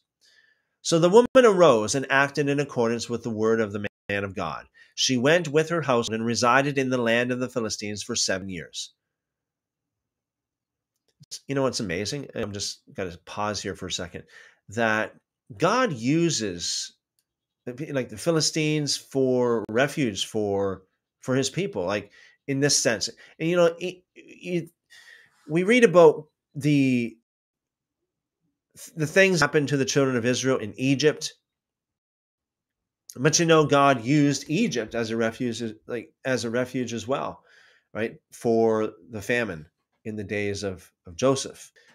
And so God used Egypt according to in the you know in the Gospels uh, for for Jesus to to flee there to to to for safety from from Herod. It's just amazing how God works, you know, with with uh, God uses whomever He wants to use. So the woman arose, this is verse 2, and acted in accordance with the word of the of the man of God, and she went with her household and resided in the land of the Philistines for seven years. Then, at the end of the seven years, the woman returned from the land of the Philistines, and she went to appeal to the king for her house and for her field. Now the king was speaking with Gehazi, the servant of the man of God, saying, Please report to me all the great things that Elisha has done. And as he was reporting to the king how he had restored to life the one who was dead, behold, the woman whose son he had restored to life appealed to the king for her house and for her field. And Gehazi said, My lord the king, this is the woman, and this is her son, whom Elisha restored to life. When the king asked the woman, she told everything to him. So the king appointed an officer for her, saying, Restore all that was hers, and all the produce of the field from the day that she left the, the land, even until now. Then Elisha came to Damascus. Now Ben Hadad, the king of Aram, was sick, and it was told of him, saying, The man of God has come here. And the king said to Hazal, Hazael, Take a gift in your hand and go and meet the man of God, and inquire of the Lord by him, saying, Will I recover from this sickness? So Hazael went to meet him and took a gift in his hand even every kind of good thing of Damascus, forty camels, camels loads. And he came and stood before him and said, Your son Ben Hadad, king of Aram, has sent me to you, saying, Will I recover from this sickness? And Elisha said to him, Go, say to him, You, you will certainly recover. But the Lord has shown me that you will, you will certainly die. Excuse me. But the Lord has shown me that he will certainly die. And he, st- he stared steadily at him until Hazael was embarrassed. And then the man of God wept. And Hazael said, why, why is my Lord weeping? And he answered, Because I know the evil that you will do to the sons of Israel. You will set their fortified cities on fire. You will kill their young men with, their, with the sword. The little ones you will smash to pieces, and you will rip their pregnant women. Then Hazael said, What, but what is your servant? A lowly dog? That, that he could do this thing? And Elisha answered, The Lord has shown me that you will be king over Aram. So he left Elisha and came to his master, uh, uh, who said to him, What did Elisha say to you? And he answered, He told me that you will certainly recover. But on the following day, he took the cover and dipped it in water and spread it over his face so that he died. And Hazael became king in his place. Now, in the fifth year of Joram, the son of Ahab, king of Israel, when Jehoshaphat, the king of uh, was when Jehoshaphat was the king of Judah, Jehoram, the son of Jehoshaphat, king of Judah, king. He was 32 years old when he became king, and he reigned for eight years in Jerusalem. In Jerusalem, he walked in the ways of the kings of Israel, just as the house of Ahab had done, for Ahab's daughter was his wife. And he did evil in the sight of the Lord. However, the Lord did not want to destroy Judah for the sake of David his servant, since he had promised him to give him a lamp through his sons always. In his days, Edom broke away from the rule of Judah and appointed a king over themselves. Then Joram crossed over uh, Zair and all his chariots with him. And he got up at night and struck the Edomites who had surrounded him and the captains of the chariots, but his army fled to their tents. So Edom was broken away from Judah to this day. Then Libnah broke away at the same time. Now, the rest of the acts of Joram and everything that he did, are they not written in the book of the Chronicles of the Kings of Judah? So Joram lay down with his fathers and was buried with his fathers in the city of David. And his son Ahaziah became king in his place. In the twelfth year of Joram, the son of Ahab, king of Israel, Ahaziah, the son of Jehoram, Judah, began, began to reign. Excuse me. And Ahaziah was 22 years old when he became king, and he reigned for one year in Jerusalem. And his mother's name was Athaliah, the granddaughter of Om- Omri, king of Israel. He walked in the way of the house of Ahab and did evil in the sight of the Lord, like the house of Ahab, because he was a son in law of the house of Ahab. Then he went with Joram, the son of Ahab, to against Hazael, king of Aram, at Ramoth Gilead, and the Arameans wounded Joram. So King Joram returned to have himself healed in Jezreel of the wounds which the Arameans had inflicted on him at Ramah when he fought against Hazael, king of Aram. Then Ahaziah, the son of Jehoram, king of uh, Judah, went down to see Joram, the son of Ahab, in Jezreel because he was sick. Second, Second Kings chapter 9.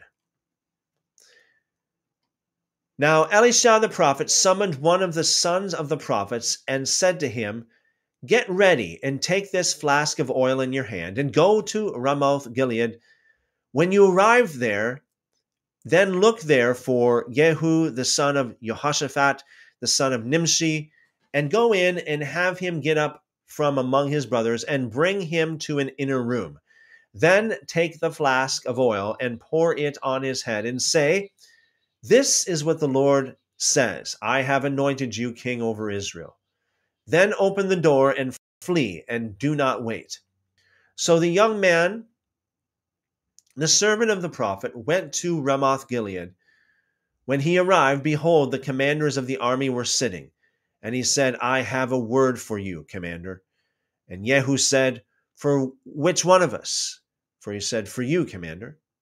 And he said, For you, commander. Then he got up and went into the house, and the prophet's servant poured the oil on his head and said to him, This is what the Lord, the God of Israel, says I have anointed you king over the people of the Lord, over Israel. And you shall strike the house of Ahab your master, so that I may avenge the blood of my servants, the prophets, and the blood of all the servants of the Lord at the hand of Jezebel, Isabel, Jezebel. For the, for the entire house of Ahab shall perish, and I will eliminate from Ahab every male person, both slave and free, in Israel. I will make the house of Ahab like the house of Jeroboam the son of Nebat, and like the house of Baasha the son of Ahiah. The dogs will eat Jezebel in the territory of Jezreel, and no one will bury her. Then he opened the door and fled. Now Jehu went out to the servants of his master, and one of them and one said to him, Is everything well? Why did this crazy fellow come to you? And he said to them, You know very, very well the man and his talk. And they said, It is a lie. Tell us now. And he said, Such and such, he said to me, saying, This is what the Lord says I have anointed you king over Israel. Then they hurried, and each man took his garment and put it under him on the bare steps and blew the trumpet, saying, Jehu is king. So Jehu, the son of Jehoshaphat, the son of Nimshi, conspired against Joram.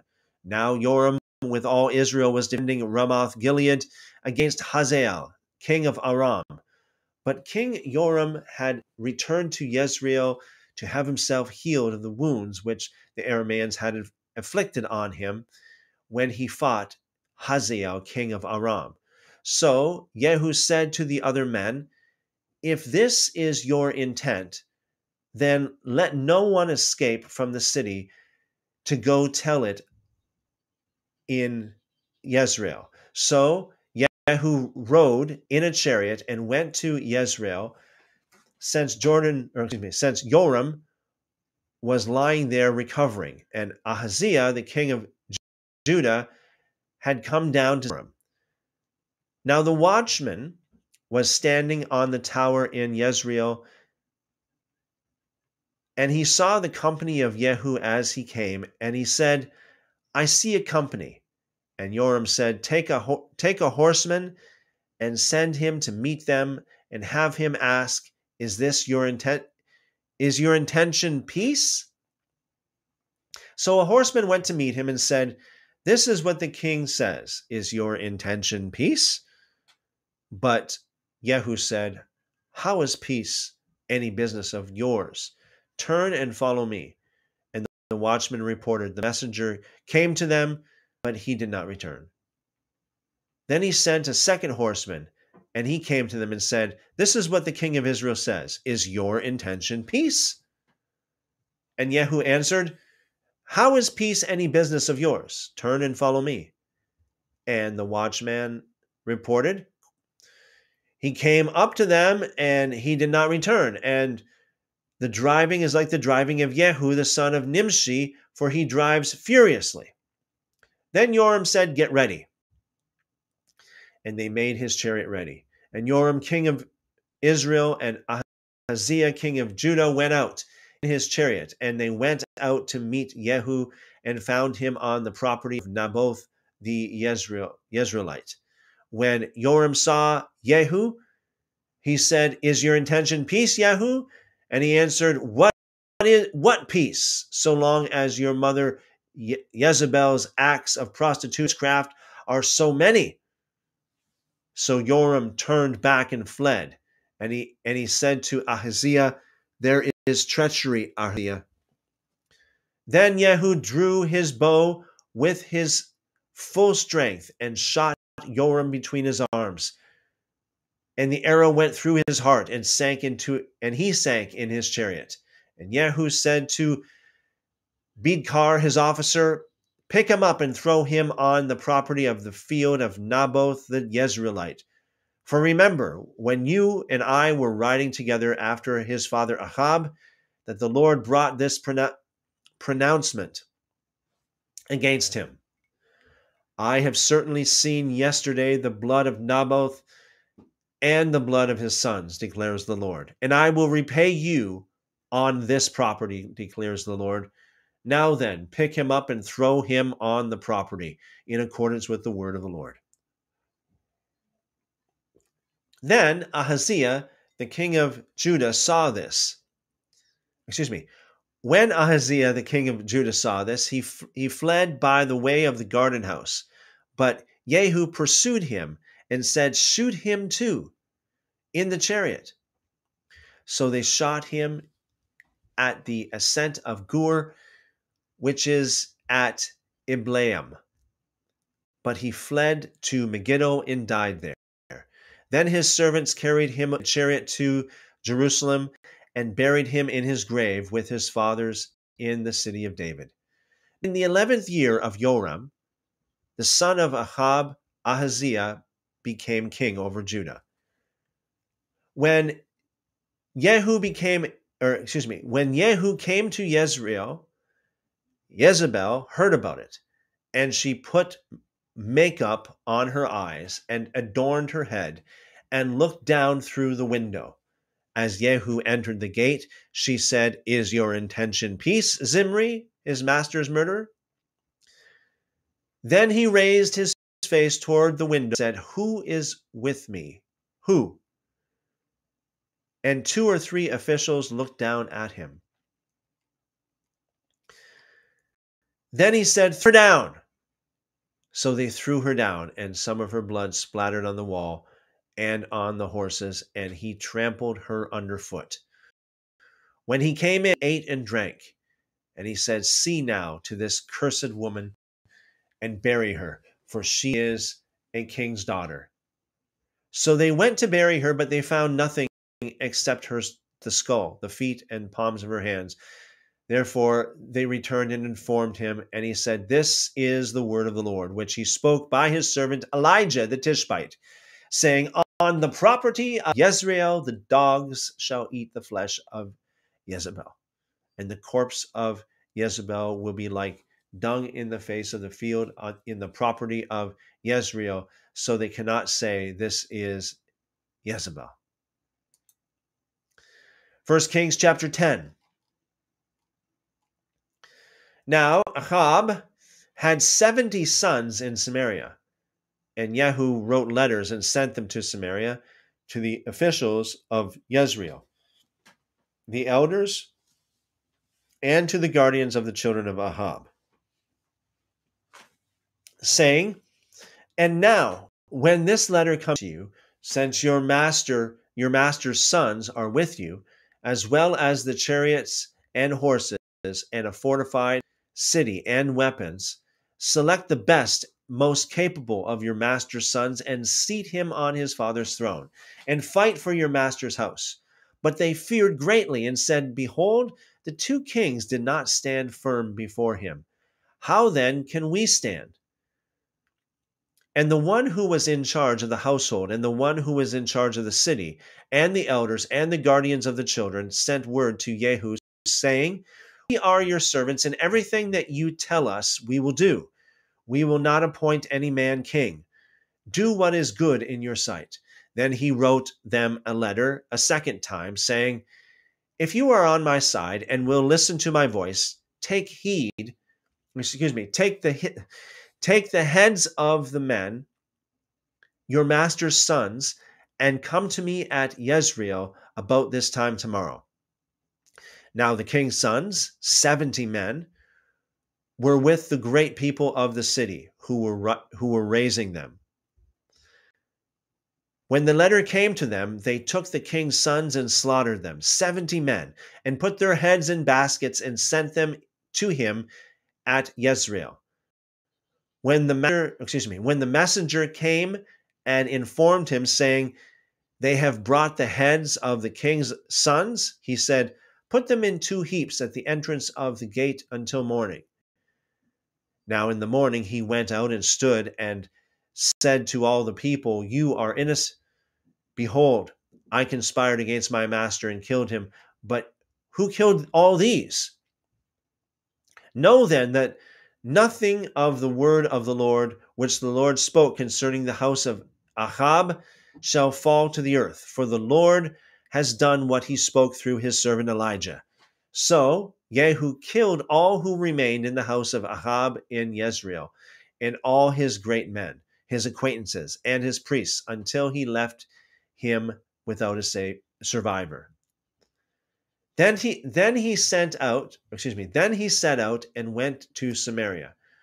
On the way, while he was at Beit Aked of the shepherds, Jehu encountered the relatives of Ahaziah, king of Judah, and said, Who are you? And they answered, We are the relatives of Ahaziah, and we have come down to greet the sons of the kings, or the sons of the king, and the sons of the queen mother then he said, Take them alive.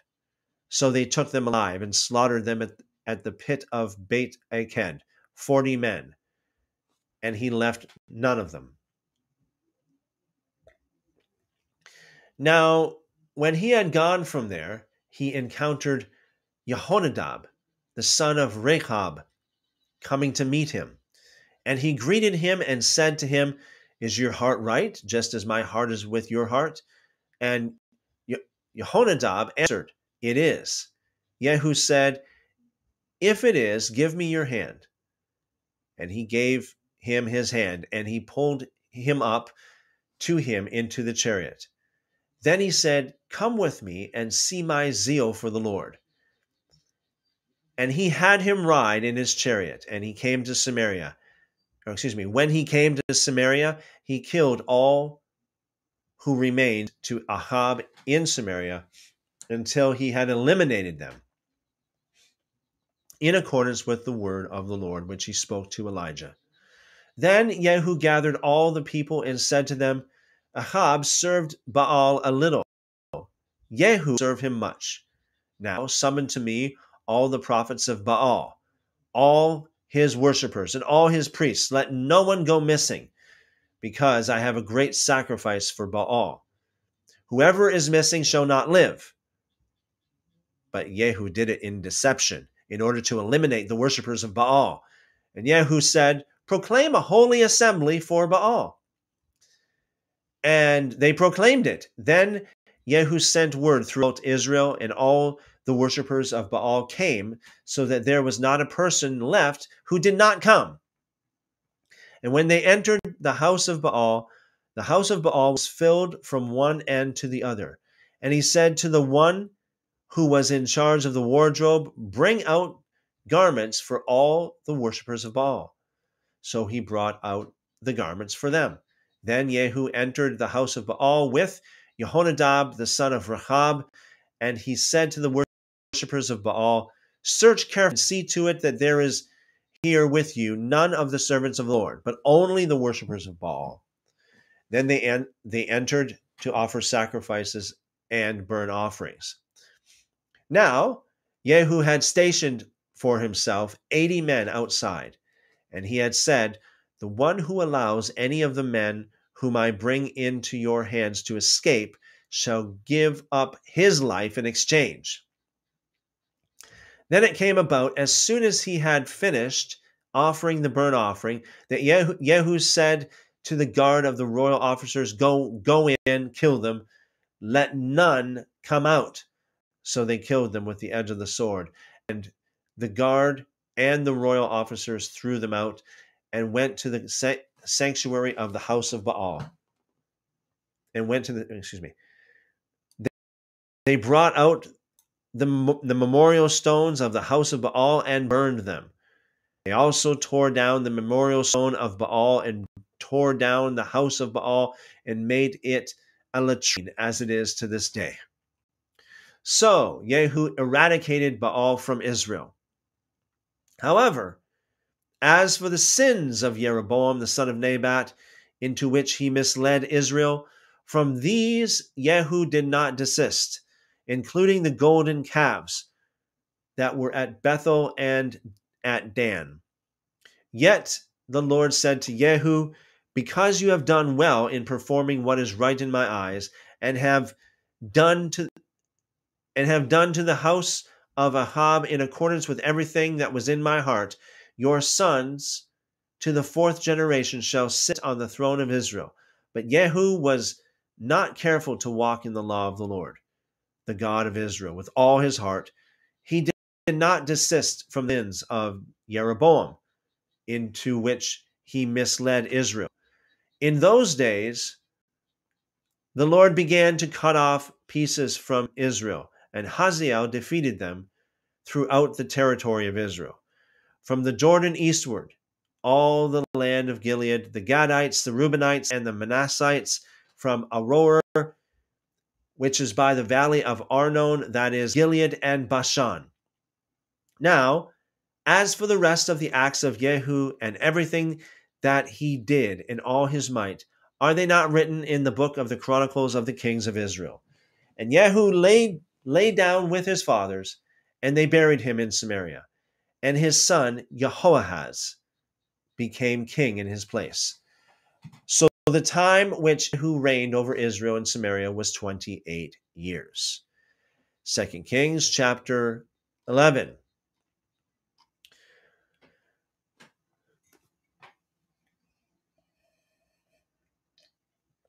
When Athaliah, the mother of Ahaziah, saw that her son was dead, she arose and eliminated all the royal children. The footnotes, all the royal seed. Again, we got seed there, not seeds, meaning children. But Yeh- uh, the daughter of King Yoram, sister of Ahaziah, took Joash, the son of Ahaziah, and abducted him from among the king's sons who were being put to death, and put him and his nurse in the bedroom. So they hid him from Athaliah, and he was not put to death. So he was kept hidden with, with her in the house of the Lord for six years, while Athaliah was reigning over the land. Now, in the seventh year, Jehoiada sent orders and brought the captains of hundreds of the Carites and of the guards and brought them to himself at the house of the Lord. Then he made a covenant with them and put them under oath at the house of the Lord and showed them the king's son. And he commanded them, saying, This is the thing that you, sh- you shall do. A third of you who come in on the Sabbath and keep watch over the king's house, a third also shall be at the gate Sur, and a third at the gate behind the guards shall keep watch over the house for defense. And two parts of you, all who go out on the Sabbath, shall also keep watch over the house of the Lord for the king. Then you shall surround the king, each with his weapons in his hand, and whoever comes with within the ranks shall be put to death. And you are to be with the king when he goes out and when he comes in. So the captains of hundreds acted in accordance with everything that Jehoiada the priest commanded, and each one of them took his men who were uh, who were to come in on the Sabbath, walk along, or excuse me, along with those who were to go out on the Sabbath, and they came to Jehoiada the priest. Then the priest gave the captains of hundreds the spears, the shields that the king or that had been King David's, which were in the house of the Lord. The guards stood, each with his weapons in his hand, from the right side of the house to the left side of the house, by the altar and by the house around the king. Then he brought the king's son out and put the crown on him, and he ga- and gave him testimony. And they made him king and anointed him, and they clapped their hands and said, Long live the king. When Athaliah heard the noise of the guards and of the people, she came to the to the people at the house of the Lord. And she looked, and behold, the king was standing by the pillar according to the custom, with the captains and the trumpeters beside the king. And all the people of the land were joyful and were blowing trumpets. Then Athaliah tore her clothes and cried out, Conspiracy! Conspiracy! And Jehoiada the priest commanded the captains of hundreds who were uh, appointed over the army and said to them, Bring her out between the ranks, and whoever follows her, put her to death with the sword. For the, for the priest said, She is not to be put to death at the house of the Lord. So they seized her, and when they brought her to the, to the horse's entrance of the king's house, she was put to death there. Then Jehoiada, Jehoiada made a covenant between the Lord, the king, and the people that they would be the Lord's people. And between the king and the people, and all the people of the land came to the house of Baal and tore it down. They thoroughly smashed the altars and his images in pieces, and they killed Mattan, the priest of Baal, before the altars. Then the priest appointed sentries over the house of the Lord. And he took the captains of hundreds and the Carites and the guards and all the people of the land, and they brought the king down from the house of the Lord and came by the way of the gate of the guards to the king's house. And he sat on the throne of the kings. So all the people of the land rejoiced, and the city was peaceful, for they had put Athaliah to death with the sword at the king's house. Yehoah, Yehoah, excuse me, Jehoash was seven years old when he became king. That's a little young, don't you think? That's a little young. That concludes the reading of our scripture reading for tonight. Let's see what we have here in the chat as far as questions are concerned. Remember, put at Christopher if you want to make sure that you draw my attention to a question.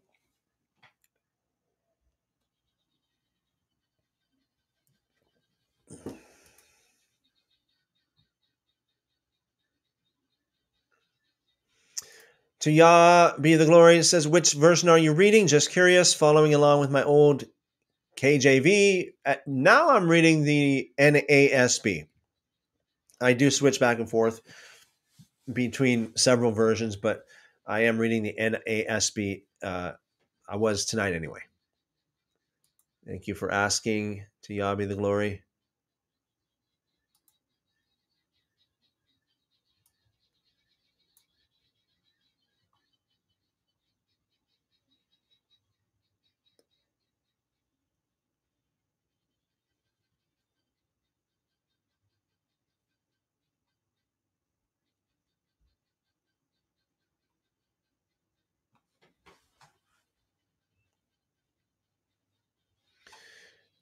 The Great Deception. I would say don't worship pagan gods. Yeah, definitely. Uh, what would what would you do differently? Elisha was hearing from Yahweh. Um, all I have is Torah. It states, don't do that. Yeah, yeah, very clear. Don't worship pagan gods. Um, I think in that context, he himself was not worshiping pagan gods. I think it was in the context of you know um, I think he was asking Elisha just basically, you know, um, you know, pray for me that the Lord doesn't hold anything against me. I'm just helping my, you know, my master. So it was more like a service to his master. Um, yeah. So I don't think I don't think that he was actually worshiping pagan gods.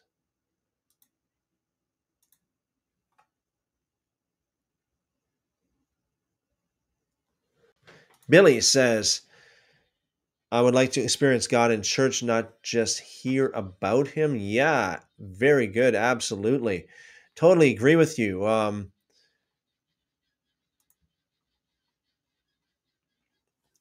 there has been uh, at this point in time i don't know where i wouldn't I, I just can't point you anywhere but there has been throughout you know time and time throughout history there has been little rays of light, if you want to put it that way, of um, movements of God in different churches, different places. Uh, and uh, unfortunately, they didn't last very long. I believe it's because of the fact that um, it just becomes corrupt very fast. You know, uh, they, they tend to buy into a you know the counterfeit grace grace gospel and so unfortunately that's that's uh, that's what happens. Uh, let's see what else we have here.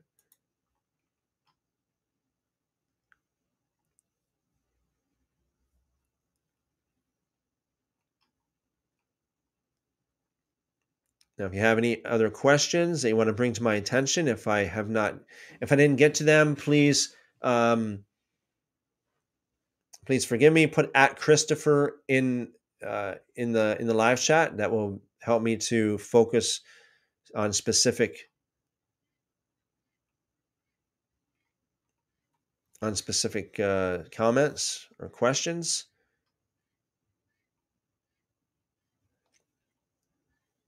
yeah, there's there's so much going on there in the live chat. You guys are quite active there.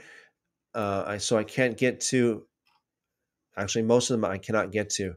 Um, so if you have asked a question and I have not answered, uh, my apologies. It's just that I cannot see it. Please, if you don't mind, resubmit that in the live chat. Just put at Christopher on that so that it could come to my attention.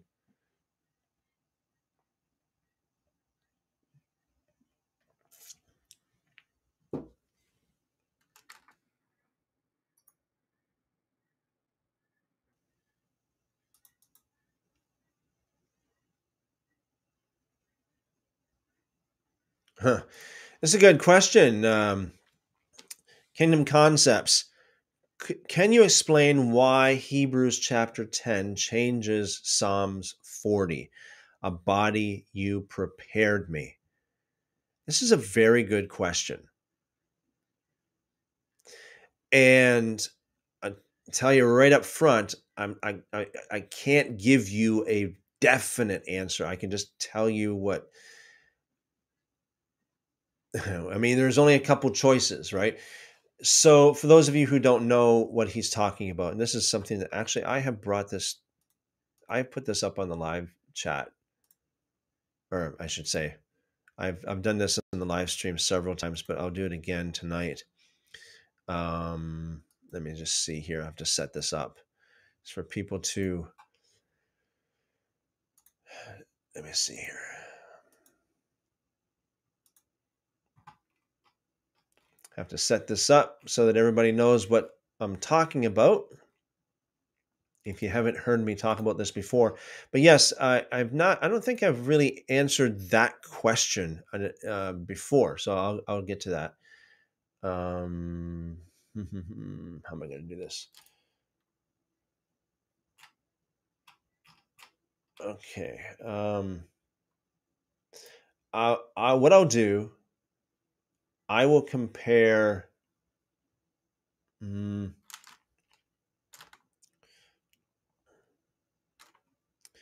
I will compare King James. Just I'll, I'll just use the King James for comparison because it's just because at this time. Hebrews chapter 10. I mean, you can use everybody who's listening to this. Uh, you can you can you know open your your favorite Bible translation. Doesn't matter. It's pretty much the same. But um, we have we have problem. We have a problem here. Okay, you'll see what I mean and Kingdom Concepts knows what that problem is. Um, and there is there are theories, and I'll present those theories.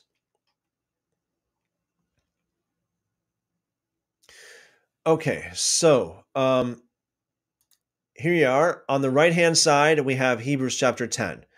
On the right hand, on the left hand side, we have uh, Psalm 40. Now, let me just put this Psalm 40 in the King James just to make it apples compared to apples here.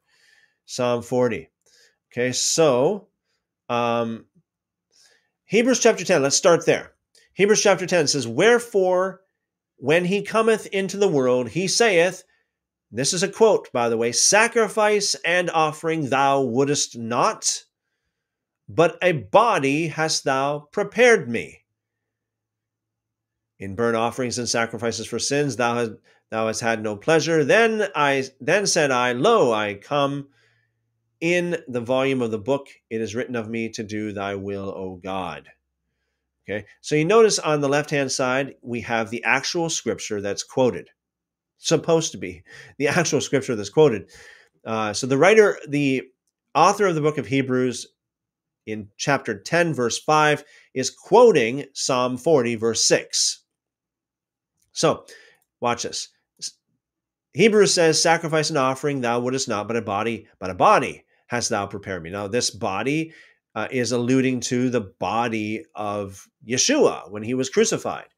Basically, sacrifice and offering thou wouldest not. In other words, you don't you don't you don't uh, want you know animal sacrifice, but you want a body, a more like a human sacrifice. Basically, that's that's the context uh, th- that's the way this is presented in Hebrews chapter 10. Now, the, the original scripture says, Sacrifice and offering thou dost not desire. My ears hast thou opened. And then it goes on to say, you know, burnt offering and sin offering thou is not required. As it says here, burnt offerings and sacrifice for sin thou is no pleasure.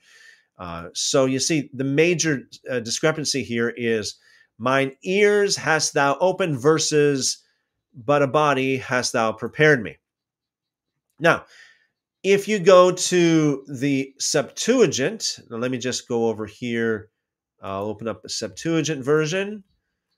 If you go to Septuagint, you'll see that. Um, oh, hold on a second. I got to change this to Septuagint. Okay. Um, in the Septuagint, it's actually it's Psalm 40, but it's actually Psalm 39 in the Septuagint. Verse 9 Sacrifice and offering thou wouldest not, but a body hast thou prepared me. That's it right there. That's it. So the author of the book of Hebrews was not quoting from your typical King James Bible.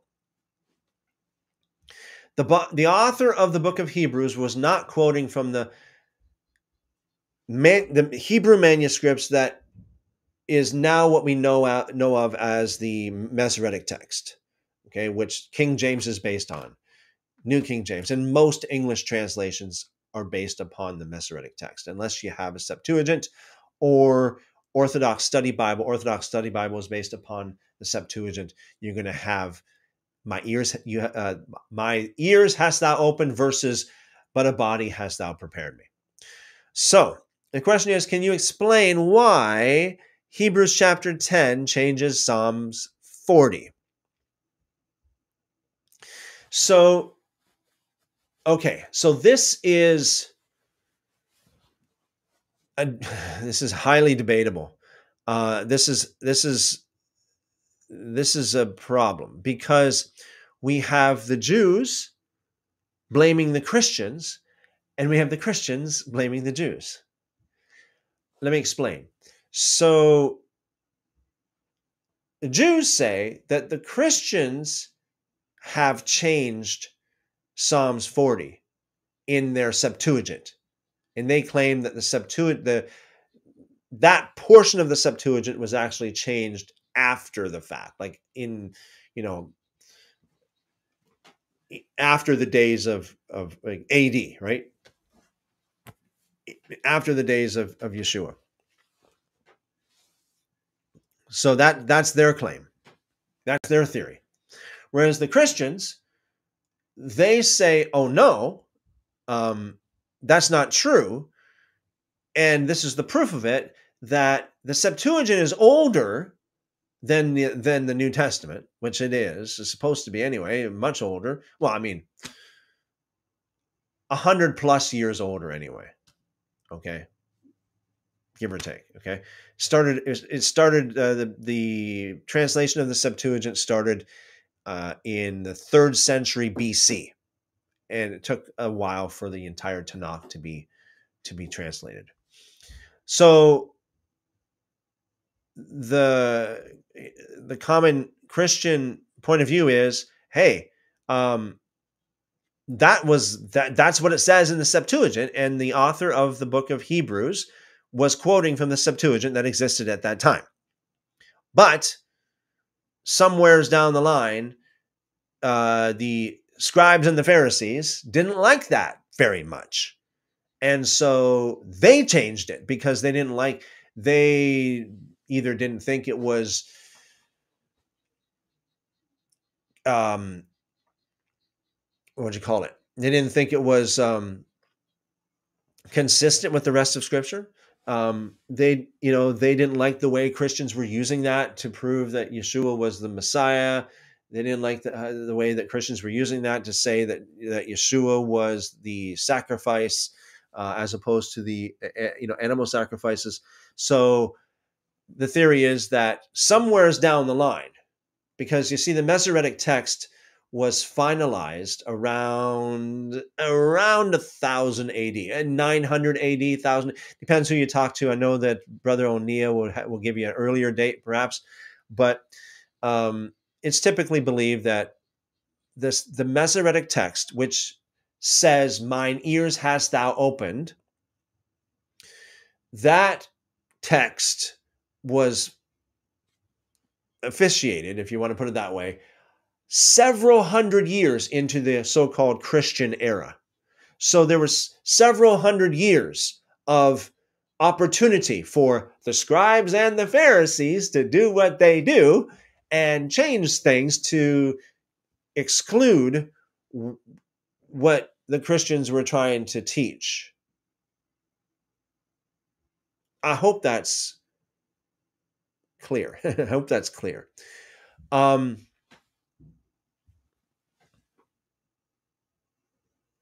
Those are the theories. The Jews say that the Christians actually actually changed the Septuagint. The Christians say that the Jews actually changed the Masoretic text.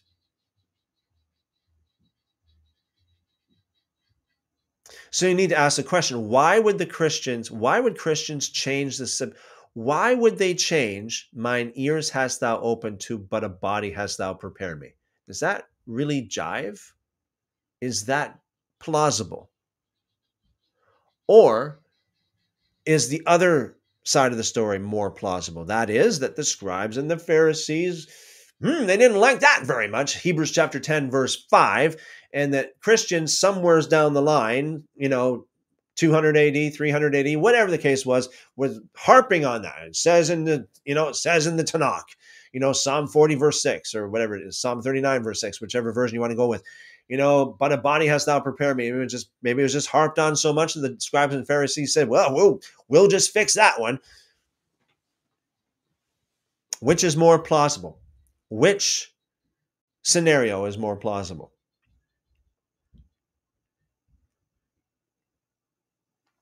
That's that's what we have. That's what we have. It's either one or the other. There's no other I can't think of any other option. So I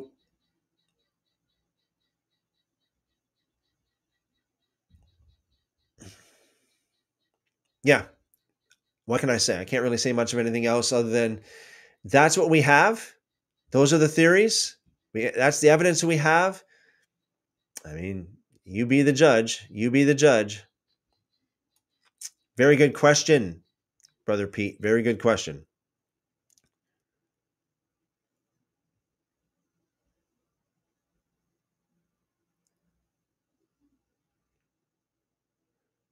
Will Sr. says, I couldn't do a Sunday church and couldn't stomach all the Romanized doctrine.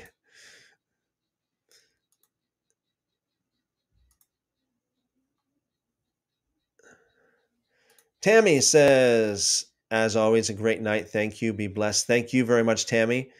Be blessed, you and yours. M- many blessings multiplied to you. Thank you. Great Deception says, Thank you. I didn't get that. Now I see the difference. Okay. Thank you, Great Deception.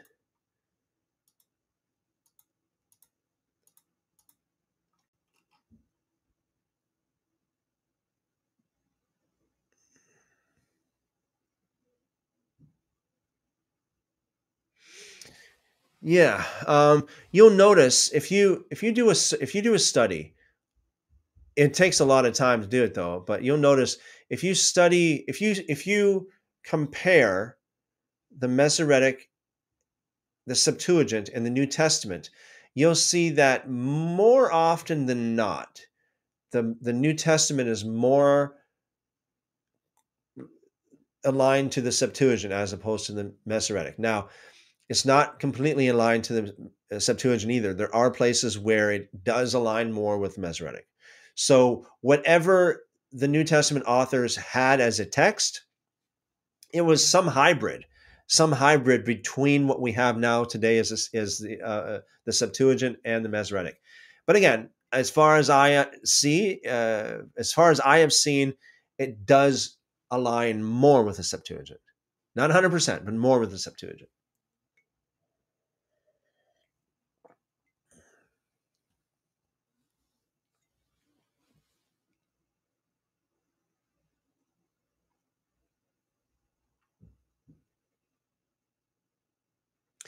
Let's just say this about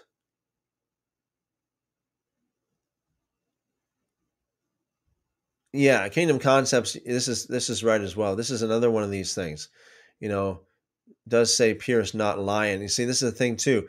You look it up in the masoretic in psalms 22 16 actually while we're here let me see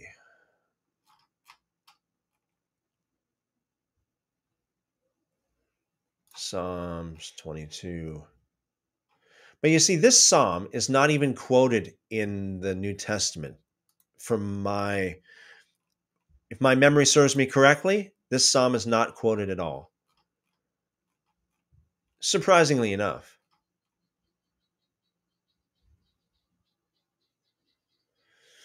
Yeah, so um,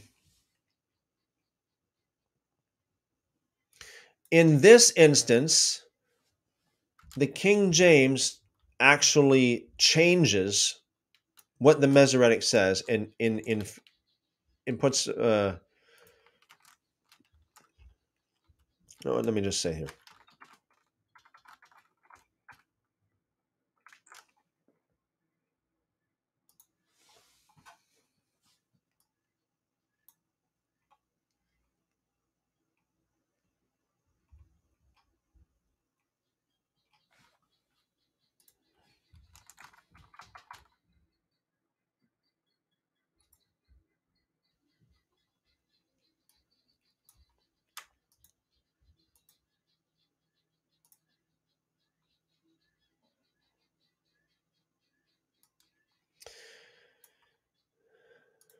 Yeah. Um, so let me just share the screen here.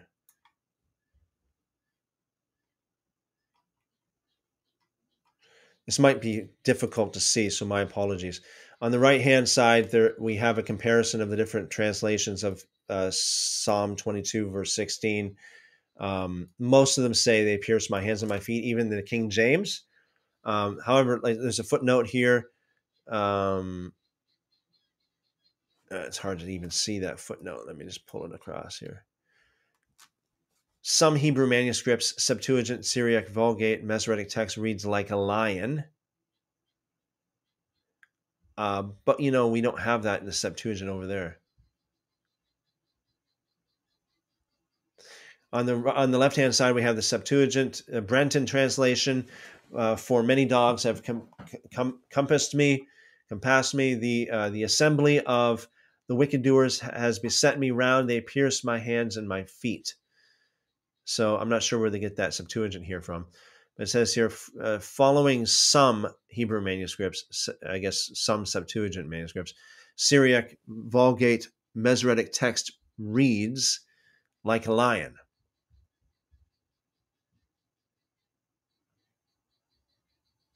Oh, maybe it's saying, uh, maybe I'm, I'm misunderstanding this. Maybe it's saying that they they they translated it as pierced my hands and my feet, following some of the Hebrew manuscripts following the Septuagint, the Syriac, the Vulgate. But the Masoretic text reads like a lion. Yeah, so that's it. The, the Masoretic text reads like a lion there. And that's another thing. It's like, so did the Pharisee, did the scribes and the Pharisees change this to say like a lion instead of pierce my hands and my feet? Because again, they didn't like the clear if I may say, if I may say so, my if I have to say so myself, uh, they didn't like the clear um, depiction of crucifixion here, so they changed it to like a lion. Uh, again, I know uh, Jews would certainly disagree with that.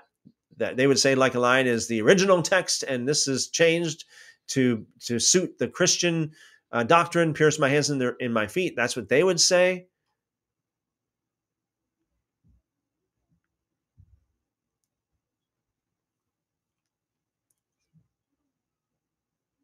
Another reading is like a lion. Yeah. So if you let's say if we go over to Sefaria again, I'm pretty sure that that would say like a lion over there. Pretty sure about that. Being a Jewish Tanakh website, uh, I'm pretty sure they're based upon the um, Masoretic uh, Psalms 20, verse 16 Oops, I went into 21. Where is it? Where is verse 16 here?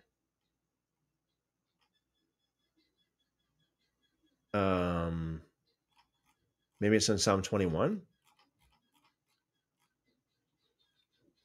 No, what's going on here? Um,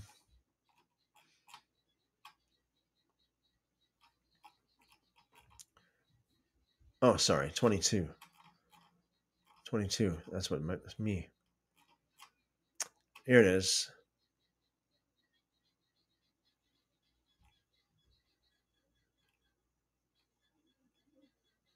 There it is. Like lions. Is actually verse 17. Dogs surround me, a pack of evil ones closes in on me. Like lions, they maul my hands and feet. Okay, so again, that's different. So they got a, uh, with Rashi, Isaiah 38 13. Uh, they have that there. So, yeah, very interesting. That's what they do. They change that. Okay, so that'll be it for tonight. Tomorrow night we'll be back, same time, same place, wrapping it up. As always, thanks again, guys. Thanks for your fellowship. Thanks for your questions and your comments. A lot of things covered tonight a lot of good stuff we covered. So, as always, it has been a blessing for me. Uh, you guys are awesome. Thanks, guys, for all that you uh, for all that you do over there. You're in the you're in the comments. You're fellowshipping. I appreciate appreciate you guys. You guys are awesome. You guys are world changers, as I always say. All right, guys, that's it. We'll be wrapping it up. Tomorrow we'll be back, same time, same place, 7 p.m. Eastern, picking up where we left off. Um, we'll see what happens on Friday. Uh, we're looking at um, uh, Brother Will um, coming back. It still has to be confirmed whether he will or not. He said that he'll let me know. So we'll see whether he comes, whether he's a- able to to come back on Friday. Um, and uh, on the weekend as well, we have our Shabbat meeting on Saturday at 2 p.m. Eastern, as always, and uh, Sunday as well. Uh, we'll start again 7 p.m. Now there is a slight chance. There is a slight chance on Sunday we might uh, go live at 1 p.m. Also, if we have a guest that's not available and it just doesn't fit well any you know any other time during the weekend, we will go live 1 p.m. on Sunday if we confirm a guest. So so keep that in mind. Um, again, make sure you're subscribed if you're not subscribed and you have the notifications on. So until then, we'll see you. One John says, Thank you and blessings. Thank you, One John. Appreciate you. Vinny says, Thank you, Christopher. Many blessings to you and all. Shalom. Many blessings multiplied to you as well, Vinny. Thank you. Okay. See you guys tomorrow. As always, Diaby the Glory says, Great night. Hope all goes well with y'all and shalom. You too as well. Blessings multiplied, you guys. And Wheel Truth says, Shalom. Awesome. Awesome. Shalom. Shalom. Shalom. Great. As always, I pray the Lord bless you and keep you, make his face to shine upon you, lift up his countenance upon you, and give you wonderful, wonderful shalom. Amen. Amen. See you tomorrow night.